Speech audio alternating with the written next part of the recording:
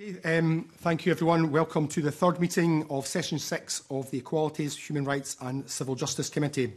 Um, all members are here um, and Karen Adam, MSP, is joining us remotely on the Blue Jeans platform. So agenda item 1 um, is uh, to agree whether to take items 5 and 6 in private, which is consideration of today's evidence. Are we agreed to take items 5 and 6 in private?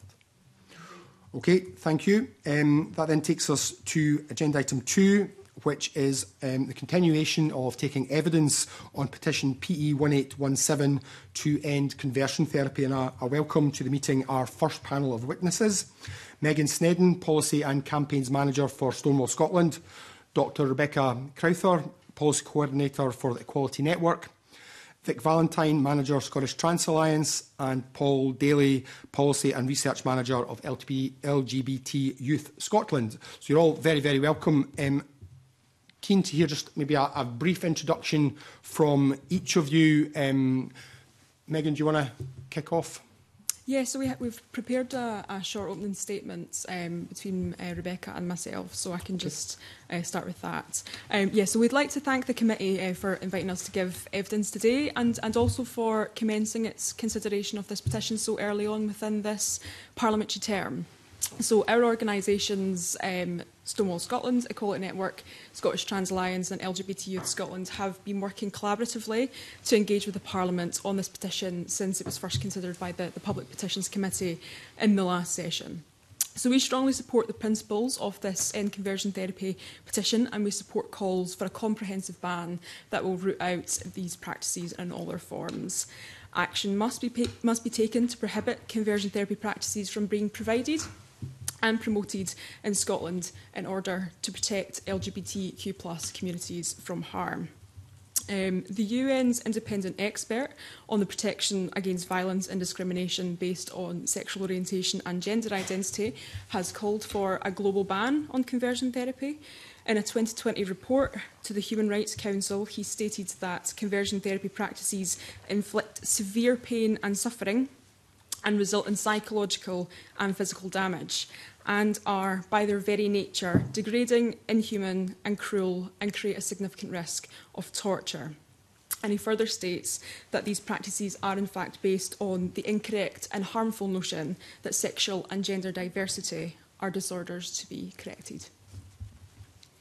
The independent forensic expert group recognised conversion therapies as having no medical or scientific validity, no sound scientific evidence that conversion therapy in any form is effective in changing LGBTQ identities, and no medical justification for inflicting on individuals torture or other cruel, inhumane, or degrading treatment or punishment.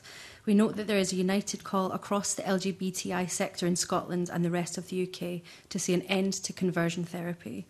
We also note, as you've seen in the evidence responses to the call for views, that NHS Greater Glasgow and Clyde and the MOI, MOU Coalition the Royal College of Psychiatrists and the Royal College of GPs, the Mental Health Foundation, the Equalities Human Rights Council, the Scottish Human Rights Council, Children in Scotland, Amnesty International and the Human Rights Consortium, the Humanists, the National Secular Society and many religious bodies, including the Edinburgh Liberal, Liberal Jewish Community, the Religious Society of Friends, or Quakers, and many smaller Christian denomination churches are all in favour of a complete comprehensive ban. We would hope that the committee would consider private evidence session if there are survivors who need that privacy. Several survivors did respond to the call. One said, I am a victim of a form of conversion therapy. I have struggled with my mental health and made attempts to take my own life. I do not want other LGBTQ plus people to go through what I did at school. It's hard to believe that conversion therapy can and does still happen. Being cast out and isolated had a deep and long lasting impact on me. Some LGBTQ plus people can be extremely vulnerable and feel isolated because we are already part of a minority and pressure to fit into a religious community can be a powerful driver in people feeling like they should change or suppress the fact that they're LGBTQ plus. I have been so damaged by prayers. Okay, thank you. Vic or Paul, did you want to make an, an opening contribution? Happy just to go to, to questions? Yeah. yeah. Okay, well, th thanks very much. Um, obviously, there's um, fair number of areas we want to ask, and with four members on the panel, it will take forever if every question is answered by everyone. So we'll, I'll try and take an indication from yourselves as to who um, is going to answer any question, and if you just kind of make make a, a signal of some sort, so I know to, to bring you in. Um, some of the committee members might particularly direct a question at one person or other. So the, the first question um, that I asked last week, and I'm going to ask it again this week, is um, from the evidence that we've received in writing there's a lot of people on both sides, actually, whether they're in favour of a ban or against the ban, who are making it the point that it's really important that we define uh, what we mean by conversion therapy. Obviously, before you're going to ban something, you need to know what that something is. So I wonder if, if we could start with that. Vic, do you want to kick off? Would that be just to bring, bring you in? Yeah, sure. Um, no, so we agree that it is really important to define conversion therapy in a way that's clear so people know what it is that they should and shouldn't be doing. Um, we think that one of the best examples of where this has already been done is in the Victorian legislation that recently passed. And essentially, what conversion therapy is all about is it's about a approach to LGBT plus people that has a predetermined outcome um, built into what it wants to do to somebody, and it wants to change or it wants to suppress either their sexual orientation or their gender identity. Um, so it's not about providing space to support or explore or talk to someone about how they're feeling or if they're struggling with their identity. It's not about working through with them what steps they might want to take or how they might want to live their life to come to peace with who they are. It's very specifically about going into those conversations or those practices knowing in, in the person's mind that being LGBT plus is, is something that people consider unacceptable and seeking to, to change or suppress that in some way. Okay, thanks. Rebecca? Just to add to that for clarity, that we are um, talking about all directive practices that seeks to change, and that's with or without consent. We're not talking about inclusive. Um, we're not inclusive of gender affirmative supportive healthcare. That's a good thing. Um, it's not intended to prevent supportive pastoral care or explorative supports or prayer that does not seek to change. And this is not inclusive of non directive counselling or therapy, nor is it inclusive of conversion to Christianity or any other faith, as long as this conversion isn't trying to encourage uh, changing or suppressing one's sexual orientation or gender identity. Okay, thanks, Emily. Off on that general point then. No. Pam, do you want to kick off now then? Thank you. Thank you very much. Um, and thanks for, for coming this morning. Also, just to declare an interest, I um, supported the, the campaign to end um, conversion therapy in all its forms. Um, I, the, the, the committee has received various different suggestions around the concern that some medical practitioners might be criminalised if they don't affirm a young person's gender identity. Um, Rebecca, you mentioned um, a, a, moment ago about, about the in, in inclusion in that near definition. What is your response to that particular suggestion? And also, um, would the definition of conversion therapy provide clarity on the type of practice that is and is not acceptable from the medical profession? And I have a couple of others, but I'll come back to them.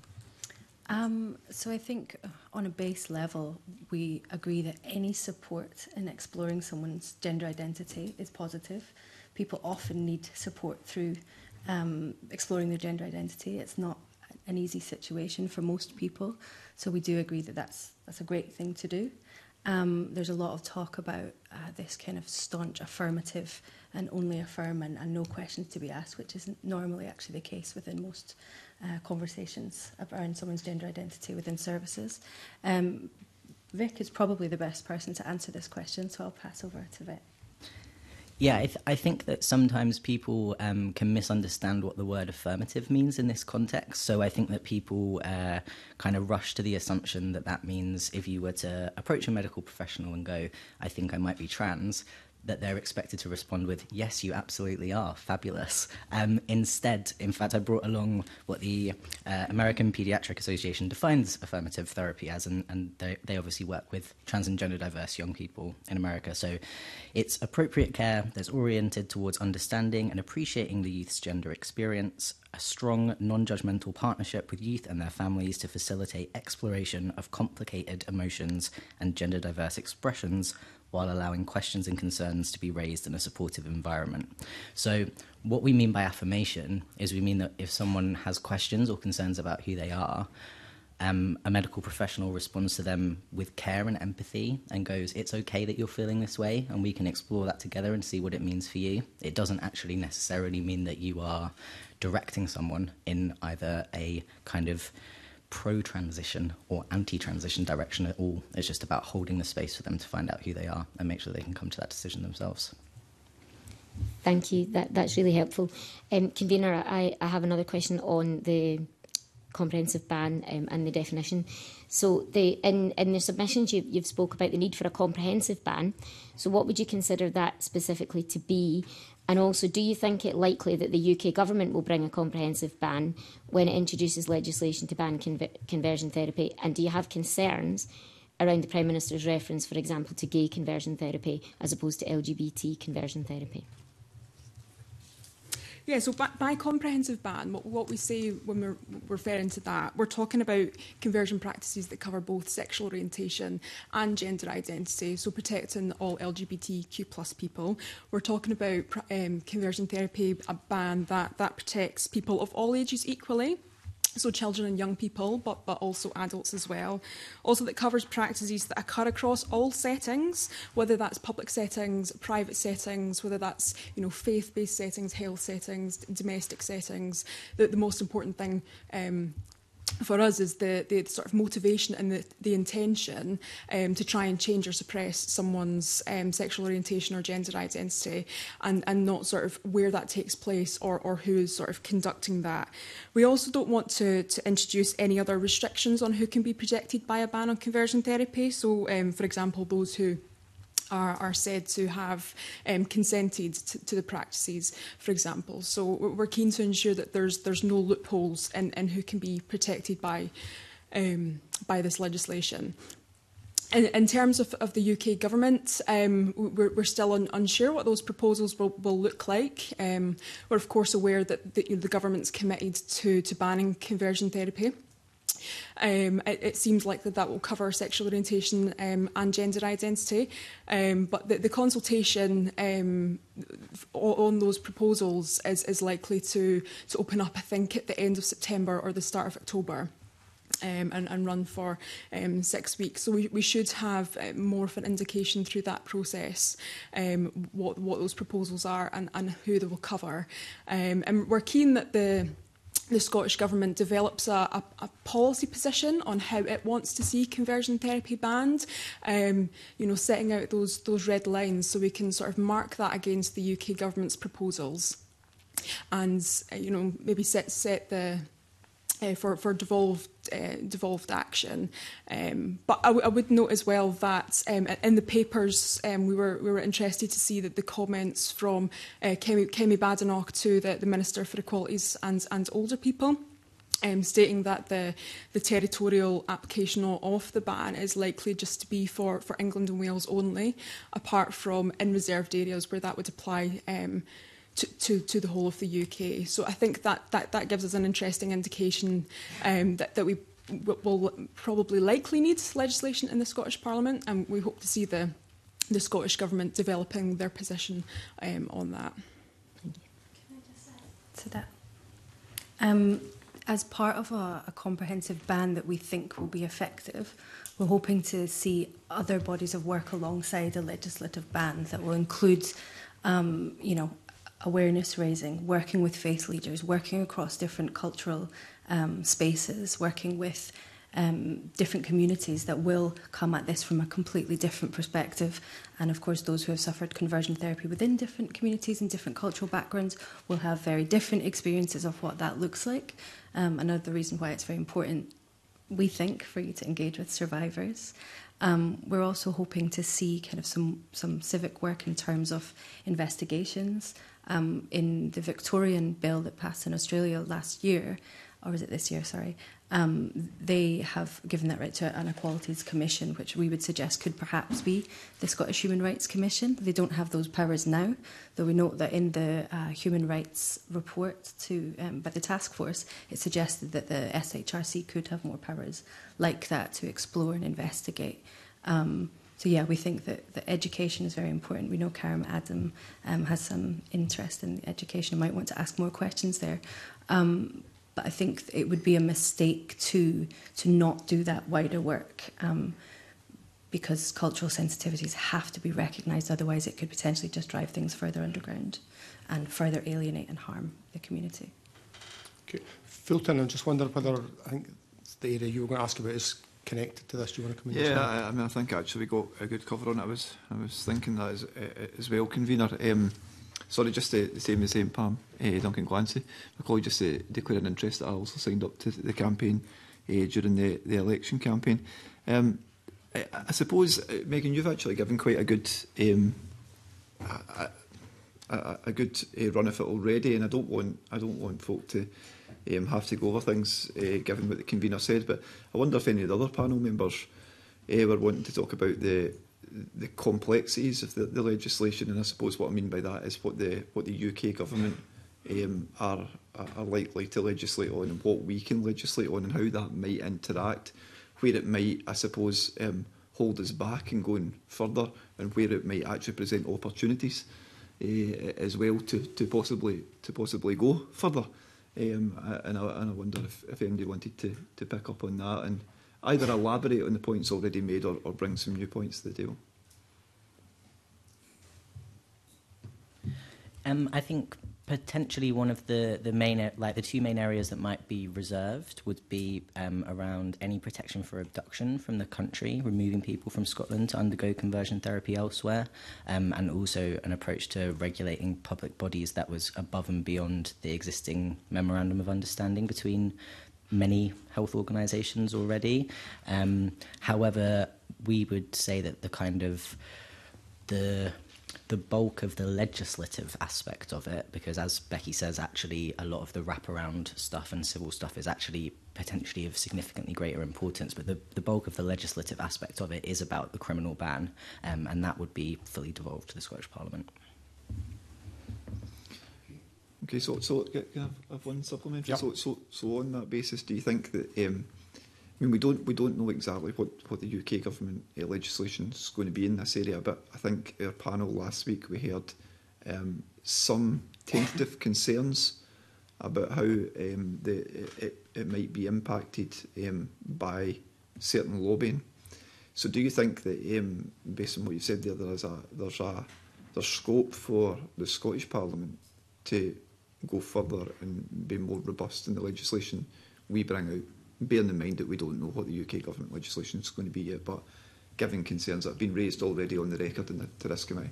I certainly don't think that there's any reason to specifically wait for the UK government's proposals and to try and do it jointly via things that come out at Westminster. The, it's definitely fully within this Parliament's powers to enact a criminal ban. And so I think, given that the committee is putting so much effort into hearing views and engaging with people, um, to me, it would make perfectly good sense and, in fact, be a really positive thing um, for you to kind of shape the direction of what that ban might look like in Scotland, rather than than waiting on Westminster, who we don't, yeah, we don't know exactly when that legislation will be delivered or exactly what it will look like. Okay, thank you. And I can see by um, your colleagues um, nodding their heads that they're in very much in agreement. So thanks a lot. Thanks, Kabir. Okay, thank you. Maggie? Thank, thanks very much, uh, Joe. Thank you all for, for coming along this morning. And like Pam and Fulton, I also signed the, the uh, in conversion therapy uh, campaign during, during the election campaign. Um, I want to pick up on a couple of things that, that you've said around cultural sensitivities, around um, the, the definition being all-encompassing, in, including behaviour or activity that is with or without consent, and the, the, the notion of partnership working, and look at these perhaps in partic with particular reference to religious and faith groups, and how, how you see or where you see the tensions um, between religious and faith um, uh, beliefs, understandings, and practices.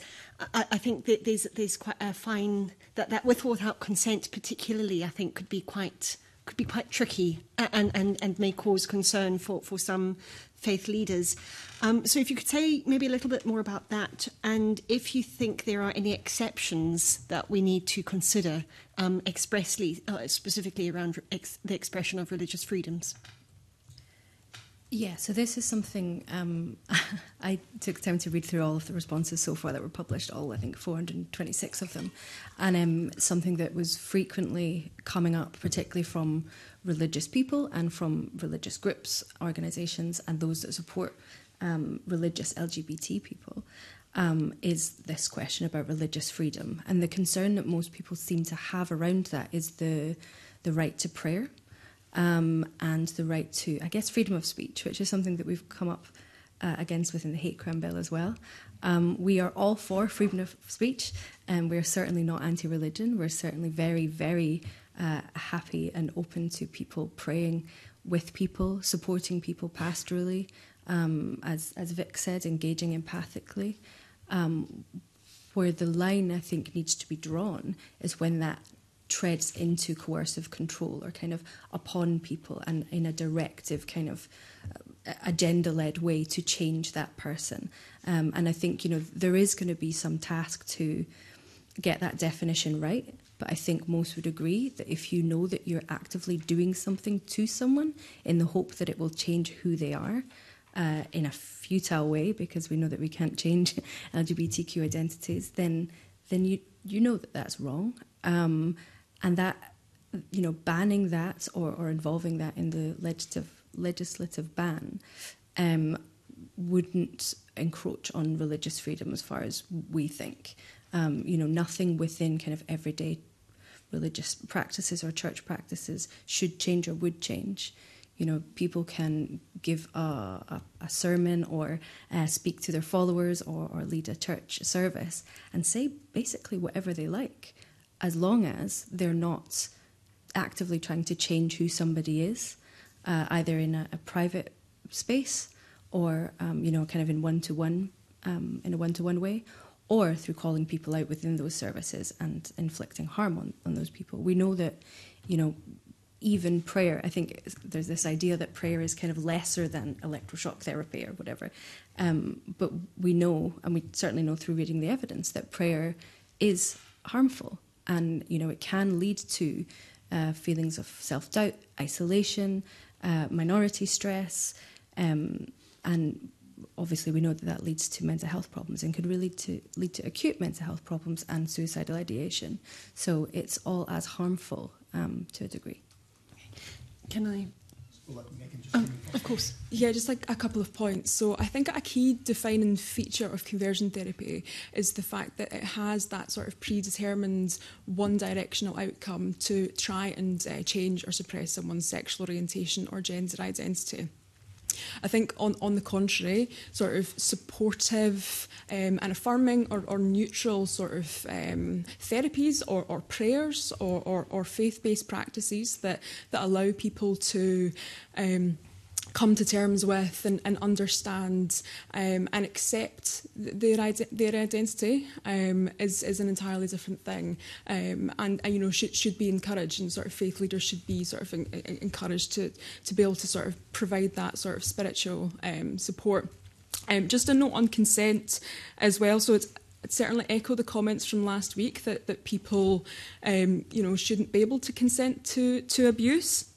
I think it's important to, to consider the question of why people would agree to conversion therapy because there, you know, there are many LGBTQ plus people that will feel uncomfortable about that and, and find it difficult to accept that and will want to change their identity. And that's because of the, the views of society and the, the marginalisation and the stigmatisation of those identities. And I think conversion therapy is another form of repression and another form um, of discrimination. And I think that the state has a role um, to, to step in there. I think there's there's also the question over whether people can actually give informed consent. So we've recognised, you know, the evidence is that conversion therapy is not effective, um, but is harmful. Uh, so a report by the, the Independent Forensic forensic expert group which functions under the, the International Rehabilitation Council for Torture Victims, they concluded that for an individual to give informed consent to conversion therapy, that would require them being informed about the practices that will be applied, as well as their ineffectiveness, the likely physical and psychological harm that will result, and, and the inability to, to um, achieve the desired result as well. Um, we'd note that in the, the, the, Victorian law as well, they define conversion therapy as, as practices um, with, with or without um, someone's consent. And as well in the, the, current New Zealand bill that's, that's currently going through their parliament, they have a, a provision that there is no defence for, for the person that, um, having given consent to that treatment. Bring Paul in. Back to Maggie. Okay. Thanks. Um, yeah, just to add on the point uh, really briefly on religious freedom, I'd just um, like to draw the committee's attention to the response from Amnesty International, uh, the Scottish Human Rights Consortium and Just Right Scotland, who um, quoted from the UN Special Rapporteur, who says, um, discrimination and violence against LGBT people cannot be justified by religious beliefs. The state has a responsibility to protect life, dignity, health and equality of LGBT people and banning such discredited and ineffective practices is not a violation of the right to freedom of religion or belief under international law. Thanks. Th thanks all for, for that. Uh, just, I, I suppose, going going a little bit further, um, in your view, then, who who has the responsibility for ensuring that um, people who may be the maybe the victims of of coercion and, and, and the, the sort of non-consensual uh, approach that, that Megan was talking about in, in a faith-based setting, um, whose responsibility is it to make sure that those people know that what, what's happening is, is wrong? I suppose it comes back to the point about education, but also around um, collective responsibility within society. And I, I just wondered if, if any of you had, had, had anything uh, else to say around that, because if, if people don't know that what's happening to them is, is wrong, how, how can they get support? How can they get out of that situation? I'm just going to add one comment and then I'm going to pass over to Paul because I know that he'll be very keen to answer this question. We would think um, it might be a good idea for the committee to speak to um, some within the women's sector who have a lot of experience around domestic abuse and really understanding coercion and how that works, and also you know how they message to survivors or people who are suffering um, within conversion, I think they might have something useful to say about that. Um, I mean, it has, it has slightly been covered, um, I think, by Beck earlier on, but the, um, in Victoria, the bill there um, puts obligations onto the, uh, the Commission there who have a role to um, receive reports on, on institutions that are undertaking conversion therapy um, and to investigate and to educate. Um, so yeah, there is there is definitely a role for um, kind of emboldening the institutions that we have here, but also um, to ensure that they're able to to, to visit um, establishments and uh, yeah, like I say, educate people who would uh, who would be given conversion therapy. There's been a couple of folk have mentioned Victoria, so I wonder if I could bring Karen in, whose question I think is maybe relevant to, to that, that area. Hi, good morning. Um, and, uh, and I'll declare also that I supported the campaign. Um, just to note, you know, internationally there has been a momentum towards a ban, um, although there are some countries who have committed to enacting a ban but have stalled at the consultation process. So for some nations, there's not the political or cultural will to counter this form of torture. And I was just wondering, you know, from your perspective, do you feel there is the political and cultural will here? And if I may come back in with a supplementary, if that's okay. okay. Who wants to take that first? Megan? Yeah, so we, we warmly welcome that um, the, the five parties that were elected to, to Holyrood in, in this election all committed in one form or another to, to banning or ending um, conversion therapy. So I think that's a really good sort of starting point um, for, for this session of Parliament. Anyone else? Any other, any other wider international observations? No? Okay, Karen, back to you. Um, yeah, so it was just you know, to say, I think it comes back to that education. I think Rebecca touched upon the, you know, a few points there um, with the outreach work, partnership work with organisations who perhaps feel the, fear the consequences of a ban.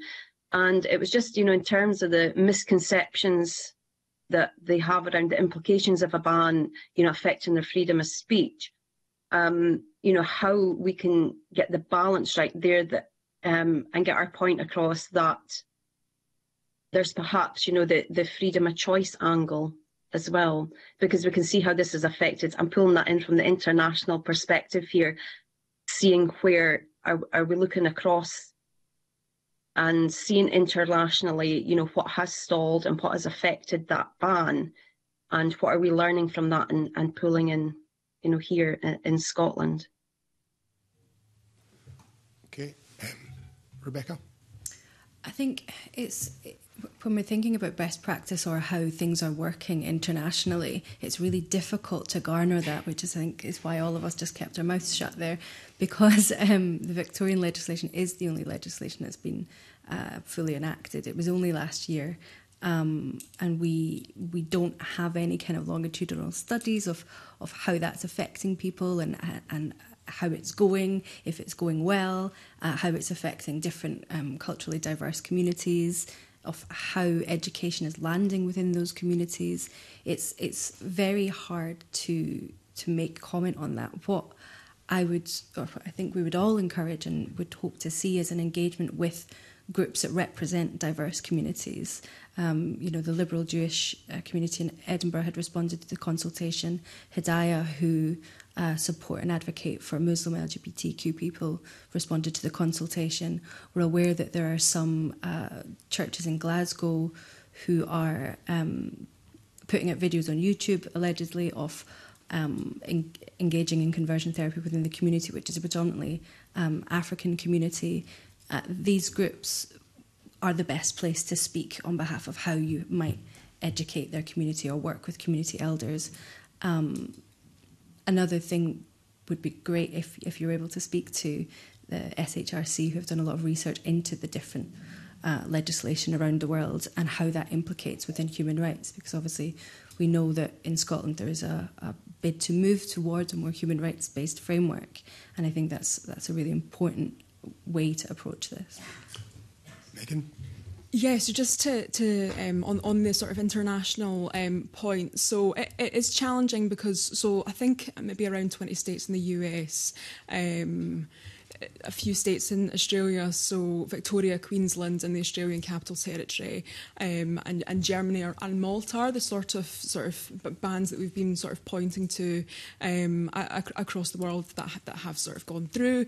Um, but the challenge in sort of like looking at the sort of like longer term effectiveness of that is that these bans have only been in place for I think up to about five years. And as as Rebecca mentioned, um, Victorian law was just was just passed um, this year. Um, but th there are a series of countries that, that are are looking at this. So I'm not I'm not sure sort of where where they're all in their in their process. But there's Canada, New Zealand, uh, France, um, and Finland, and of course um, in England and Wales. But I think it's important to recognise that Scotland would be one of the first countries in the world to introduce a ban on conversion therapy, and that would you know set us out as a, as a world leader on this issue again.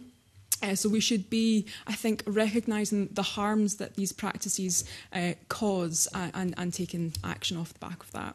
Okay, thanks. Paul, you're wanting to come in. Maybe you could touch on as well what that might mean to uh, young LGBT plus people if Scotland was a world leader in this area. Sure.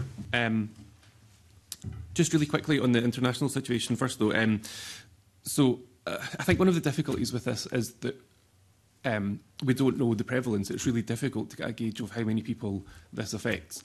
And that's partly because of the way that conversion therapy works. It's all about shame and it's all about hiding away and putting things in a box.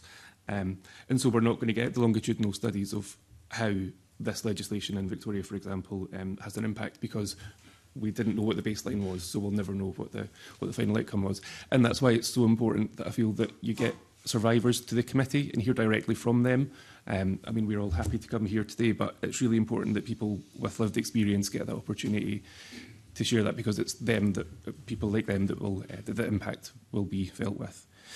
Um, on the impacts of conversion therapy on young people, so um, the report on conversion therapy from the UN's independent expert on protection against violence and discrimination based on sexual orientation and gender identity point out that young people are disproportionately subjected to conversion therapy Um, uh, they point to a recent global survey that suggested four out of five persons subjected to them were 24 years of age or younger at the time, and of those, roughly half were under 18. So it is a significant problem for, for um, LGBT younger people. But of course, the implications uh, are life, life lasting after, after that. Um, so the report recommended that the states take up urgent action to protect children and young people um, and carry out campaigns uh, to raise awareness amongst parents, families and communities about the uh, uh, invalidity and ineffectiveness of conversion therapy. Um, and just really briefly on education, I think there's also a bit of work to be done, not necessarily in the legislation, but kind of the support of work around this um, and doing things in school to raise awareness because schools might be, and further education institutions might be the only safe space for young people that are experiencing conversion therapy. Um, their families might be part of the part of the process. Um, so it's important that they get some sort of safe space within school that um, guidance teachers, pastoral care teachers um, have some kind of knowledge and some education themselves to be able to identify and support young people that are that are experiencing this. Um, so yeah. Okay, thanks.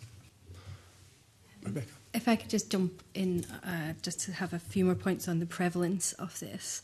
Um, I think this was mentioned in the last session with Blair and Tristan. Um, but the UK government's National LGBT Survey in 2018, which surveyed 108,000 people, um, across the UK identified the scale of the provision and promotion of conversion therapy practice in the UK. It found that 7% of LGBTQ people in Scotland had either undergone or been offered conversion therapy, including 10% of trans people in Scotland. Uh, these figures included by a faith org or group, by a parent, guardian, guardian family member, healthcare provider, and other non listed organisations and individuals. So it's important that whatever is done reaches all of those people. Um, the 2018 research by the Ozanne Foundation determined that 58.8% of those who had been subject to such practice within the UK had been left with mental health issues. Of those, 68.7% had suicidal thoughts, and 59.8% were left with depression requiring medication. 40% indicated having committed self harm, 32% indicated having attempted suicide, and 0.6% were left with eating disorders. Um, we also noted that last week, I think it was Pam that brought this up, that there are people within the LGBT community who are further marginalised and who may face more significant barriers, such as disabled people who may be have carers, who maybe are not able to leave the home without support, who are maybe not able to speak to other people. Um, and we think it's important that further marginalised people are are really looked out for here. Again, another argument for listening to survivors. Megan, briefly, so, just a, a, very quick point on um, so on your question um, last week about whether disabled people are more likely to experience conversion therapy. Um, I went away and had a look at the, the data viewer for the, the UK government's national LGBT survey. Um, found that across the UK, uh, so two percent of non-disabled LGBT people had experienced conversion therapy, and that rose to four point four percent of LGBT disabled people. And there was sort of similar pattern in terms of those that had been offered it but hadn't taken it up as well. Okay, thanks very much. Pam?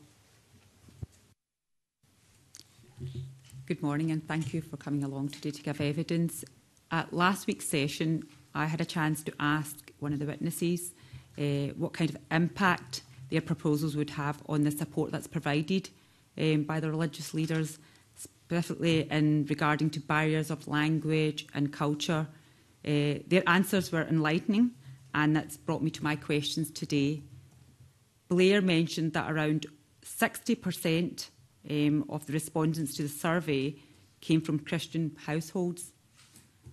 Now, the one thing I want to make clear is absolutely, and it was mentioned last week as well, this is not fully just about religion, but Scotland is a very diverse place, and it's crucial that this legislation reaches everyone for all religions, not just Christianity. No matter what we do, religion barriers exist, and we all know that that they're often hidden. And today, you know, you've mentioned um, Rebecca about um, different communities and how we have to reach out to them differently. You've mentioned about cultural sensitivities, and uh, Paul, you've touched on basically how this affects people in different ways. Just on that. Um, with that in mind, that um, do you think more research and evidence is necessary to support the ban on conversion therapy in Scotland? And I've got kind of three areas that you can think of? And if so, what type of research is required and why? And what about the outreach behind this? Or do you think we should press on ahead with the legislation now and deal with any future issues surrounding religion later on, perhaps in a maybe secondary legislation? Or would you think what role really does this Parliament or this committee have to educate people? So I think there's three areas, yeah. Um, that's a lot. I tried to write down. I mean, I think my gut instinct is to say that you know, call it what you like. Um, research, evidence gathering, focus groups, forums, whatever. I think for the answer to all of those questions, I think is to listen to survivors and to listen to survivors from multiple faith groups to engage with multiple faith groups and to engage with the organisations that work with those groups, which isn't us, unfortunately. But as I'd noticed before, a few of those groups have responded to the call for views. Um, so my, my gut is saying uh, to yes, press on, but press on, putting the voices of survivors at the very forefront, because regardless of the views of any faith, it's it's the people who have suffered conversion therapy that need to be heard in order for you to hear how much harm it's caused um, and to also hear from their experience within their own community. Um, you know, I'm not a person of faith, and I don't think anybody at this table is, so we don't have that sound understanding of different different religions and, and the way these practices work within them. So, um, again, I would just say listen to the survivors. Okay. Yeah, I would just um, I would just note that. So we've um, been involved in compiling some some case studies from across the UK um, of people that have um, experienced conversion therapy, um, and they're they're available to view on, on the Ban Conversion Therapy website. And those include sort of stories from, from people from Christian backgrounds, from from Jewish backgrounds, from Muslim backgrounds, and those from sort of non-religious backgrounds as well. So I definitely would echo um, Re- Rebecca's comments and sort of listen to the to the views of survivors. Again, the National LGBT Service survey found that um, you know there was 4.2 of percent of Christian people had experienced this, but then the figure sort of rose for for for Jewish people, um, people of Hindu faith, and, and then sort of highest for for for, for Muslims. Um, so so definitely um, we need to make sure that we're that we're engaging with survivors from from across our diverse communities, um, and also that the you know those additional measures that we're putting in place around education, around you know outreach and, and raising awareness um, are, are reaching um, all of our communities are you know available in, in, in different different languages um, as well. But uh, perhaps there's there's some um, learning that can be taken from sort of other jurisdictions. So maybe we could look at uh, Germany or, or Victoria. The committee may wish to sort of speak to, to those jurisdictions and see sort of what learning they've had there. Sorry, Paul. Paul Thanks. Um, just uh, on the issue of engaging with different communities meaningfully and, and uh, yeah, and communicating with them, I guess um, th there is a history of um, legislation that does so sensitively, I believe. Um, so female uh, FGM, female genital mutilation. Um, not my area of expertise, but there was lots of work done around that, I believe, to make sure that um, messaging got through and there was successful communication with um, communities um, that was meaningful and, and, and, um, and the right, correct languages and things like that. So um, it might be worthwhile speaking to communities that were involved in that and that were kind of impacted with the engagement around that to see if there's things we can replicate. My comment was actually going to be also about FGM. Clearly, we spoke before we came. Um, I had a conversation with one of the people at Scottish Government who worked on that bill, and one thing that we would hate to see here is not engaging with cultural sensitivities and not engaging with diverse communities because all that will do is drive it further underground and, and further alienate and marginalise and, and cause harm. I think I did say that already, but I think it's really, really important if people don't understand, um, are not aware of it, are not aware of the implications, believe that it is the right thing to do because so often that is the case. It's not necessarily intended to cause harm, but instead people believe that it's the right thing to do, it will just be more hidden um, and there'll be more stigma around it. No, thank you very much for your responses. Um, in relation to you just spoke about, Rebecca, uh, that we should press on with the legislation, but there is further work to be done and we can engage with those communities. So just on that, do you think the sort of work should be considered around the characteristics of race, religion, age, uh, disability to identify particular issues from different groups so that we can see what's going on in different groups. And if you were to look at this, how would your outreach or your research look like? Uh, 100% yes. um, looking at it intersectionally and ensuring that you're recognising the different experiences, different barriers, whether that's disability and speaking to Inclusion Scotland or speaking to CRER around racial uh, equality and rights. Um, definitely that's really important because it is experienced so drastically differently. Um, what was the second part of your question? So it's just basically asking what the research would look like, obviously putting all these characteristics um, together? I am probably the biggest advocate of qualitative research. Um, I 100% that think that experience and qualitative data is the most important um, in understanding this. This is something that does happen to a minority of people within the community. So doing any kind of statistical research about it probably won't come up with much other than it happens and you still don't know how much because people aren't being open about it. So um, I think qualitative research and again, speaking to survivors and people across diverse faith backgrounds. No, thank you very much. Okay, thank you. Alexander. Thank you, Convener, and can I thank you for your attendance this morning so far? It's been very enlightening having the discussion that we've had. If I can talk about, in your opening statement, you talked about the identifying loneliness, the, the suffering, the damage, and the risk that individuals go through. Uh, and if I can sort of tease out the, the further supportive measures that might well be in place to support and manage uh, this, because we have heard suggestions uh, that a legislative ban itself may not be enough to end uh, the conversion therapy itself.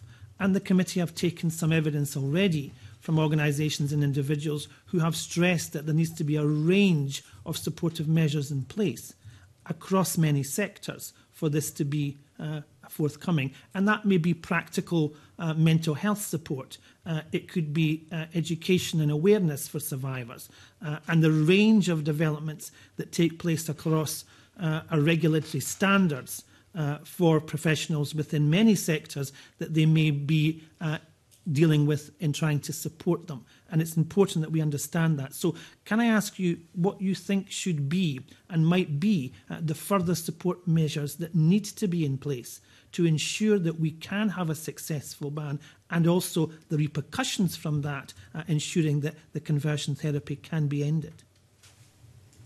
Mike. Yeah, I think that um, the kind of wraparound measures outside of the legislation are, are just as, if not more, important.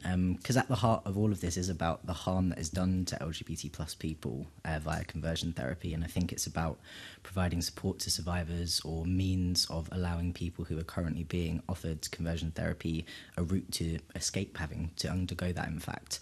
Um, so I think there's a kind of range of things that are important. We obviously know that there will be people who have undergone conversion therapy perhaps quite far in the past, but still experience enduring mental health difficulties. So there needs to be kind of support there around long term mental health difficulties. But obviously, there also needs to be aspects um, of measures that look at people who are being offered or undergoing conversion therapy right now. So, a way to report what is happening to a body that is able to understand the implications of that and to advise that individual about ways that they can seek a route to to escape what's being offered to them. Um, I also think that advocacy is something that's really important for this. We know for uh, lots of survivors of traumatic experiences that the criminal justice um, system can actually be re traumatizing, uh, particularly if you're unable um, or you don't know a lot about how to navigate the system. Um, sometimes they can obviously be quite adversarial. So having to kind of recount your trauma in a, in a setting which is quite kind of targeted at finding out if you're telling the truth um, can be really re-traumatizing. So I think having people who are able to help survivors navigate the criminal justice system would be really, really important. Um, there's probably a, a, a range of other measures that I've forgotten about, but I'm sure one of my colleagues will pick them up. Paul. Um, yeah, I think the, the wraparound support doesn't just come with when we get legislation. It needs to start now. Um, we are a youth work organisation. Um, we've had people reaching out to us um, to talk about um, experiences that they've had. Um, and the more that this um, topic is raised in the media and social media, things like that, um, the more that people will kind of realise experiences that they've had and the impacts of them and, and seek support and addressing them. So, um, so absolutely, there is wraparound support that's needed, but it's not just about something in the future. It's about something that should have happened a long time ago, and that yeah, we're, we're dealing with at the moment. Rebecca, um, just to add a wee comment that I'm sure you, you're probably aware of, but this is something that we come up against a lot when we're talking about the LGBT plus community. Um, there is still a lot of work to be done to understand how a lot of things affect LGBTIQ people's mental health. Um, and for many people, they have been through so many things in their lives as LGBT people that, that have a long impact, whether that's not being able to serve in the army, to being criminalised for for kissing, um, for two men kissing, for uh, you know, living through the AIDS crisis, um, to minority stress, to social prejudice, to to living in a rural area and being not having the social spaces. There's there's so much to try to understand. Um, of, of why the, LGBT people are a community that disproportionately suffer poor mental health. And I think this is just a very small part of it. Um, the Scottish Government is already doing work around COVID recovery and the mental health of um, minority groups. And there's a forum that's looking at equalities in mental health and looking at the different protected characteristics at the Mental Health Directorate. So things like this can happen. And as, as Paul said, it can start happening um, ahead of anything else. And, and each of your organisations are there to, to manage and support, uh, and you all have your ways of doing that. But it would be, quite useful to get a flavour of how you identify uh, to ensure that survivors or people who are at risk uh, come forward and, and how you target that support to them. Because each individual is different. Uh, and the experiences that they have gone through can be quite traumatic, as you've identified. And they may not wish to unravel some of that but others may be just looking to just unravel that and to get the support they need. So how do you target to ensure that that balance is there uh, in making sure that they feel they have the opportunity to come forward, but also to get the support that they need? Yeah, I mean, we've got lots of ideas around that, and we've had lots of conversations around that. Vic and I were speaking to uh, a chaplain who's actually an NHS chaplain um, and also works um, in different uh, churches and spaces around around Edinburgh um, who agreed with us that we think it's positive that people are given the, the, the space to share their story, um, but that you're right that it needs to be done in a way in a space where somebody can handle listening to that, where somebody can responsibly listen to that and deal with. You know, quite often when people talk about trauma, you're opening Pandora's box, and if you open it and then you can't deal with what comes out, then you're doing that person a massive disservice for the sake of policy work.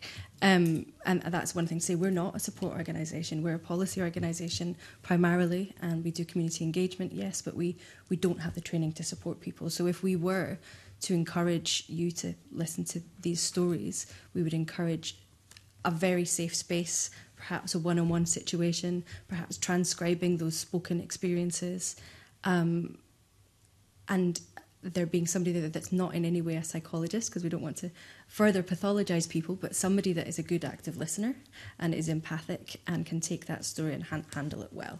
Um, I don't think any of us provide proper support apart from maybe to young people. Um, we're a youth work organisation, so we. Um, yeah, I mean, speak to LGBT health and wellbeing. They might be a, a, really good place to start. We know that they've received many calls um, and are very adept at speaking to people about these kinds of things. Because as I say, it's it's important that you they feel comfortable. And we've already touched on culture and religion and other aspects to disability. And all of that adds to the complexity uh, of the, the weight that that individual may feel uh, they have to try and break through and, and want to express, but they need to know that whoever they're speaking to is giving them that support and advice back. Uh, that, as you said, you're, you're not opening a new Pandora's box for them to try and create a bigger or, or more difficult situation for them in the future. So it's it's about trying to balance that, uh, and I think each and every one of your organisations has an ability to do that. It's just how it's coordinated to support. You're doing it through the youth, but that's your sector. Others uh, are looking at a wider area uh, of trying to manage that. So I think it's important. Um, anecdotally, that seeing yourself, seeing the committee take this seriously as an issue, um, has already made a difference to people feeling like they are going to be heard uh, and that they might want to share their story. You know, I think a lot of people saw the petition at first and thought nothing would be done. Uh, many people didn't even think it was an issue in the first place. But I think the fact that the committee have taken it so seriously and are here to listen to people's experiences and views has already made a world of difference. So I, I do think it's about providing that space, which is kind of what we as an organisation specialise in, is just kind of facilitating those conversations, bringing people to the table um, and allowing people the space to explore. We're never going to be able to deal with everybody's trauma. Um, and, you know, we would hope that people felt the strength to come forward, and if they don't, we would encourage them not to. You don't have to share your experience, um, but we hope that there are people that will. Um, thank you, convener. Okay, thank you, Pam. I wasn't sure if you had indicated you wanted back in. But uh, no, no, no, thank you. Cool. Fulton, um, I think your kind of last question. We've, we've covered a little bit, but maybe do you want to go in as a more? A little... Yeah, um, thanks, convener. I, I, yeah, I'll be I'll be very brief because I think I had a sort of um, roundup question to finish on, and I, I think that um, a lot of the issues have, have really been covered, but I'll perhaps um, try and get a, a, a sort of specific um, angle. Eh, you've talked about you know who who we might um, be able to hear from in order to inform the committee more, and um, you've talked a, a lot about um, getting in people with lived experience, which I personally agree with you. I think it's very, very important. And I know that the um, the Clarkin team in this committee and other committees throughout the Parliament are really, really good at making sure that that happens in a safe space. I know that from my previous committees of last session, uh, and I'm sure we'll make that happen. But I wonder if you could maybe expand on what what value you think will, will um, the committee will get for it. I think it's maybe obvious, but it's maybe good to get to get that on the record. What um, what you think the value of that will be in terms of this committee taking this petition forward. I think you get clarity in a way that you won't get from organisations that are not within um, the religious arena, if you call it that, um, who have not experienced conversion therapy ourselves. I think um, sometimes hearing the worst of a situation is the best way to gain clarity on what you need to do to, to prevent that from ever happening again. Um, Um, yeah, I'd just say as well, and, maybe touches a little bit back on what um, Karen asked earlier. I think you're likely, if you hear from survivors, to hear from LGBT plus people of faith, and I think it's really important actually to remember that we certainly don't see this issue as one where there are kind of religious people on one side and LGBT plus people on the other side. In fact, overwhelmingly, not entirely at all, but overwhelmingly, the, the survivors of conversion therapy are LGBT plus people of faith. And I think that it will probably help to uh, bring a bit of kind of nuance to that conversation and perhaps diffuse some of the sense that it's a kind of oppositional discussion. Um, because, yeah, exactly as I say, actually, the majority of people who are impacted by this are very much both um, LGBT plus and religious. Can I just say that I think that that point that you've made there has been made very clearly by both this panel and last week, and that's I think that's been really helpful to continually have that on the record. Um, I'm happy with that. Okay. Well, listen, th thanks very much. We're almost at our time, actually, so that has been really helpful for the committee. Um, obviously, our deliberations continue, um, and we've, we've got a lot more evidence sessions on this petition to hear from, and not least from hearing from survivors at an appropriate point. So thanks very much. I'm now going to briefly suspend the meeting to change officials.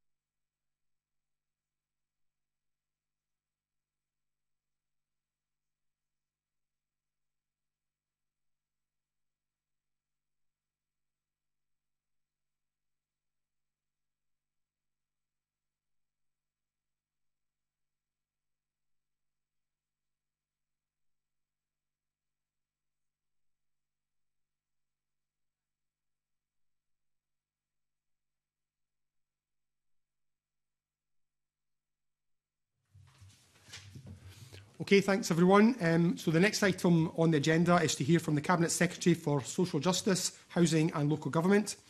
Cabinet Secretary appears today um, to speak on behalf of both her portfolio and that of the Minister for Qualities and Older, Older, Older People. Um, All of our panel two witnesses are joining us virtually today, so I welcome to the meeting Shona Robison, MSP, Cabinet Secretary for Social Justice, Housing and Local Government, who is joined by Scottish Government officials Nick Parton, Unit Head of uh, Connected Communities Division, Emma Harvey, Divisional Performance Manager for Business Support Unit, Elizabeth Campbell, Director uh, Deputy Director for Human Rights, and Jess Dolan, Deputy Director for Equality and Inclusion, all from the Scottish Government. Um, I refer members to papers four and five and invite the Cabinet Secretary to make a short opening statement. Cabinet Secretary. Thanks very much, Convener. Um, good morning uh, to the committee. Um, I'm delighted to take on my new portfolio and I welcome the new and returning colleagues on your committee. Um, I wish to acknowledge the strong position that we're able to build upon thanks to the leadership of the current and past ministers on equality and human rights. And I'm sorry that my colleague Christina McKelvie can't be with us uh, today for understandable reasons. Um, I'd just like to take a moment to focus uh, briefly on the ongoing situation in Afghanistan.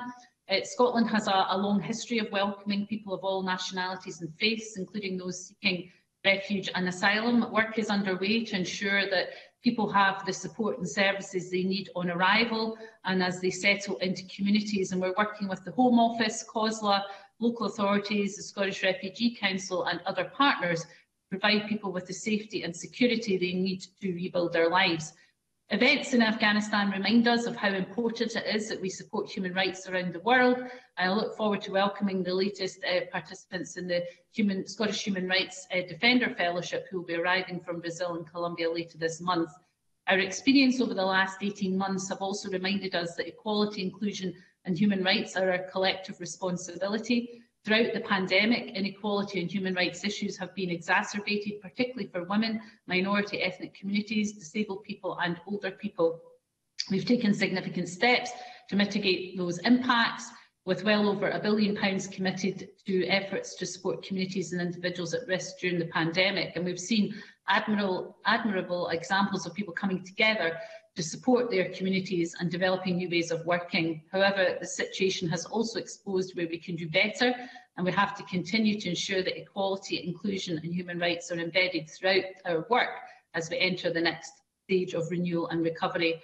Uh, just briefly, we've invested an additional £5 million in frontline services tackling gendered violence. We've started development of a new five-year plan to tackle social isolation and loneliness with £1 million in funding for organisations this year. And later this month, we'll set out immediate priorities to tackle racial inequality, building on our learning from the disproportionate impact on our mi minority ethnic communities of the pandemic. And over the coming year, we'll consult on a strategy to mainstream and embed equality, inclusion and human rights better across government and wider society. A human rights bill will be introduced in this parliamentary session, which will demonstrate global human rights leadership, placing Scotland at the forefront of human rights legislation and, more, most importantly, practice, and will reform the Gender Recognition Act with a bill introduced in this parliamentary year and ensure that LGBT people are protected from the deeply damaging practice of conversion therapy. We'll review our Equally Safe strategy with COSLA to ensure that we're doing all we can tackle the pernicious issue of violence against women and girls and will implement our strategy with COSLA to end destitution for those at risk due to immigration restrictions, doing all we can within devolved powers to protect communities and support people. And later this year, we'll set out progress on tackling hate crime Before working with stakeholders to develop a new hate crime strategy, this will include implementation of the Hate Crime and Public Order Scotland Act 2021. That's just a brief outline, convener, of the work uh, to come and I welcome the opportunity to give evidence today and take your questions. Thank, thanks very much, Cabinet Secretary. Um, we've, we've got a number of areas that we're keen to explore with you. Um, I don't think we've got time to, to cover everything today, so we will um, almost certainly um, write to you with a, a few points that we don't pick up on. But committee members will focus on the areas that they are particularly interested to hear more from. One of the things that we'd be keen to, to to try and pin you down a little bit more on is in terms of the timescales for legislation. So you mentioned two bills in particular that you expected to come in, and one you said this parliamentary year. Um, I wonder if, you're able to give us any further indication about when we would expect to see legislation coming before the committee so that we can, um, obviously as part of our planning for other work that we intend to do. So um, we would expect to move forward with the gender recognition bill in the, the spring of next year. So we'll be giving you more information about that. The human rights uh, bill will be later uh, in the session. The, it's a very complex bill, but good work is going on. And again, we'll be able to give you more defined time scales on that uh, as we move forward. I mean, it is a, a very um, far-reaching piece of legislation um, but uh, good work is going on, and uh, Christina McKelvie just recently uh, con convened the advisory group that has taken forward a lot of the, the detailed work um, on this. So uh, good progress uh, being made. In, in terms, I think Pam, Pam Gossel will come in in a second in terms of the, the, the, the gender recognition um, proposals. In, in terms of human rights legislation, you've, you've said that work is ongoing. Would, as a committee, we expect to see some of that work, and is that likely to be published, or will, it will it be mainly behind closed doors as you develop proposals? Well, I, I'm happy uh, to write to the committee, giving you more detail on the work so far, if that would be helpful. A lot of detailed work has gone on. Um, work is, is still going on, but there's certainly plenty that we could update the committee on uh, in writing if that would, would help in terms of time. Yeah, I think that would be really helpful, and so that we can kind of work out what we are going to do um, prior to any legislation being introduced. As you say, it's a it's a big piece of piece of work. Um, so Pam Pam Gosal. Thank you, convener. Um, good morning, everyone. Um, my question is around the, around the gender recognition reform. Is there any way to tell from the individual responses what the level of support was for the draft bill? Um, well, can I, can I say thank you, thank you for the question, um, and I hope certainly when we're taking forward this bill, we can try to find as much areas of consensus as possible and to to take forward the the, the legislation in a, a, a respectful environment in terms of particularly as we we discuss these issues in more detail through through Parliament. Um, Uh, you might be aware that the first consultation showed that 60% uh, of respondents were in favour of the reform and the second consultation sought views on the, the draft bill itself. So it took more of a qualitative approach rather than a quantitative approach. So asked things, for example, around uh, what the age, whether it should uh, reduce it to 16, and a number of other kind of more specific questions uh, around uh, the bill. Um, It's also not possible to have uh, done a, a, an in-depth analysis of the 17,000 responses due to volume, um, and that that's why um, it was only the organisational responses that were published. It would have taken an inordinate amount of time, of officials' time, to have extrapolated um, all of that detail from 17,000 uh, responses. That was the same approach as was taken on the first um, uh, consultation uh, on this uh, issue and also it was the same um, process as was taken with the, the equal marriage uh, legislation because of the volume uh, of responses. So um, I think the essentially that it, has been uh, independently analysed, uh, which is important to note as well. This is an independent analysis of the consultation um, and it has given a clear summary of, of views uh, on key aspects of reforms such as the minimum age. Karen Adam.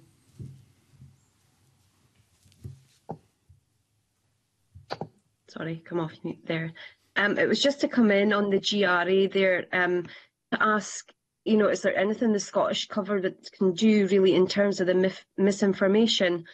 Because we're seeing now that there's some confusion in the public with things which are already in place in the 2010 Equality Act. And we're getting to a place now where there's, you know, this, these misconceptions are leading to an ask of a rollback of legislation which is already in place.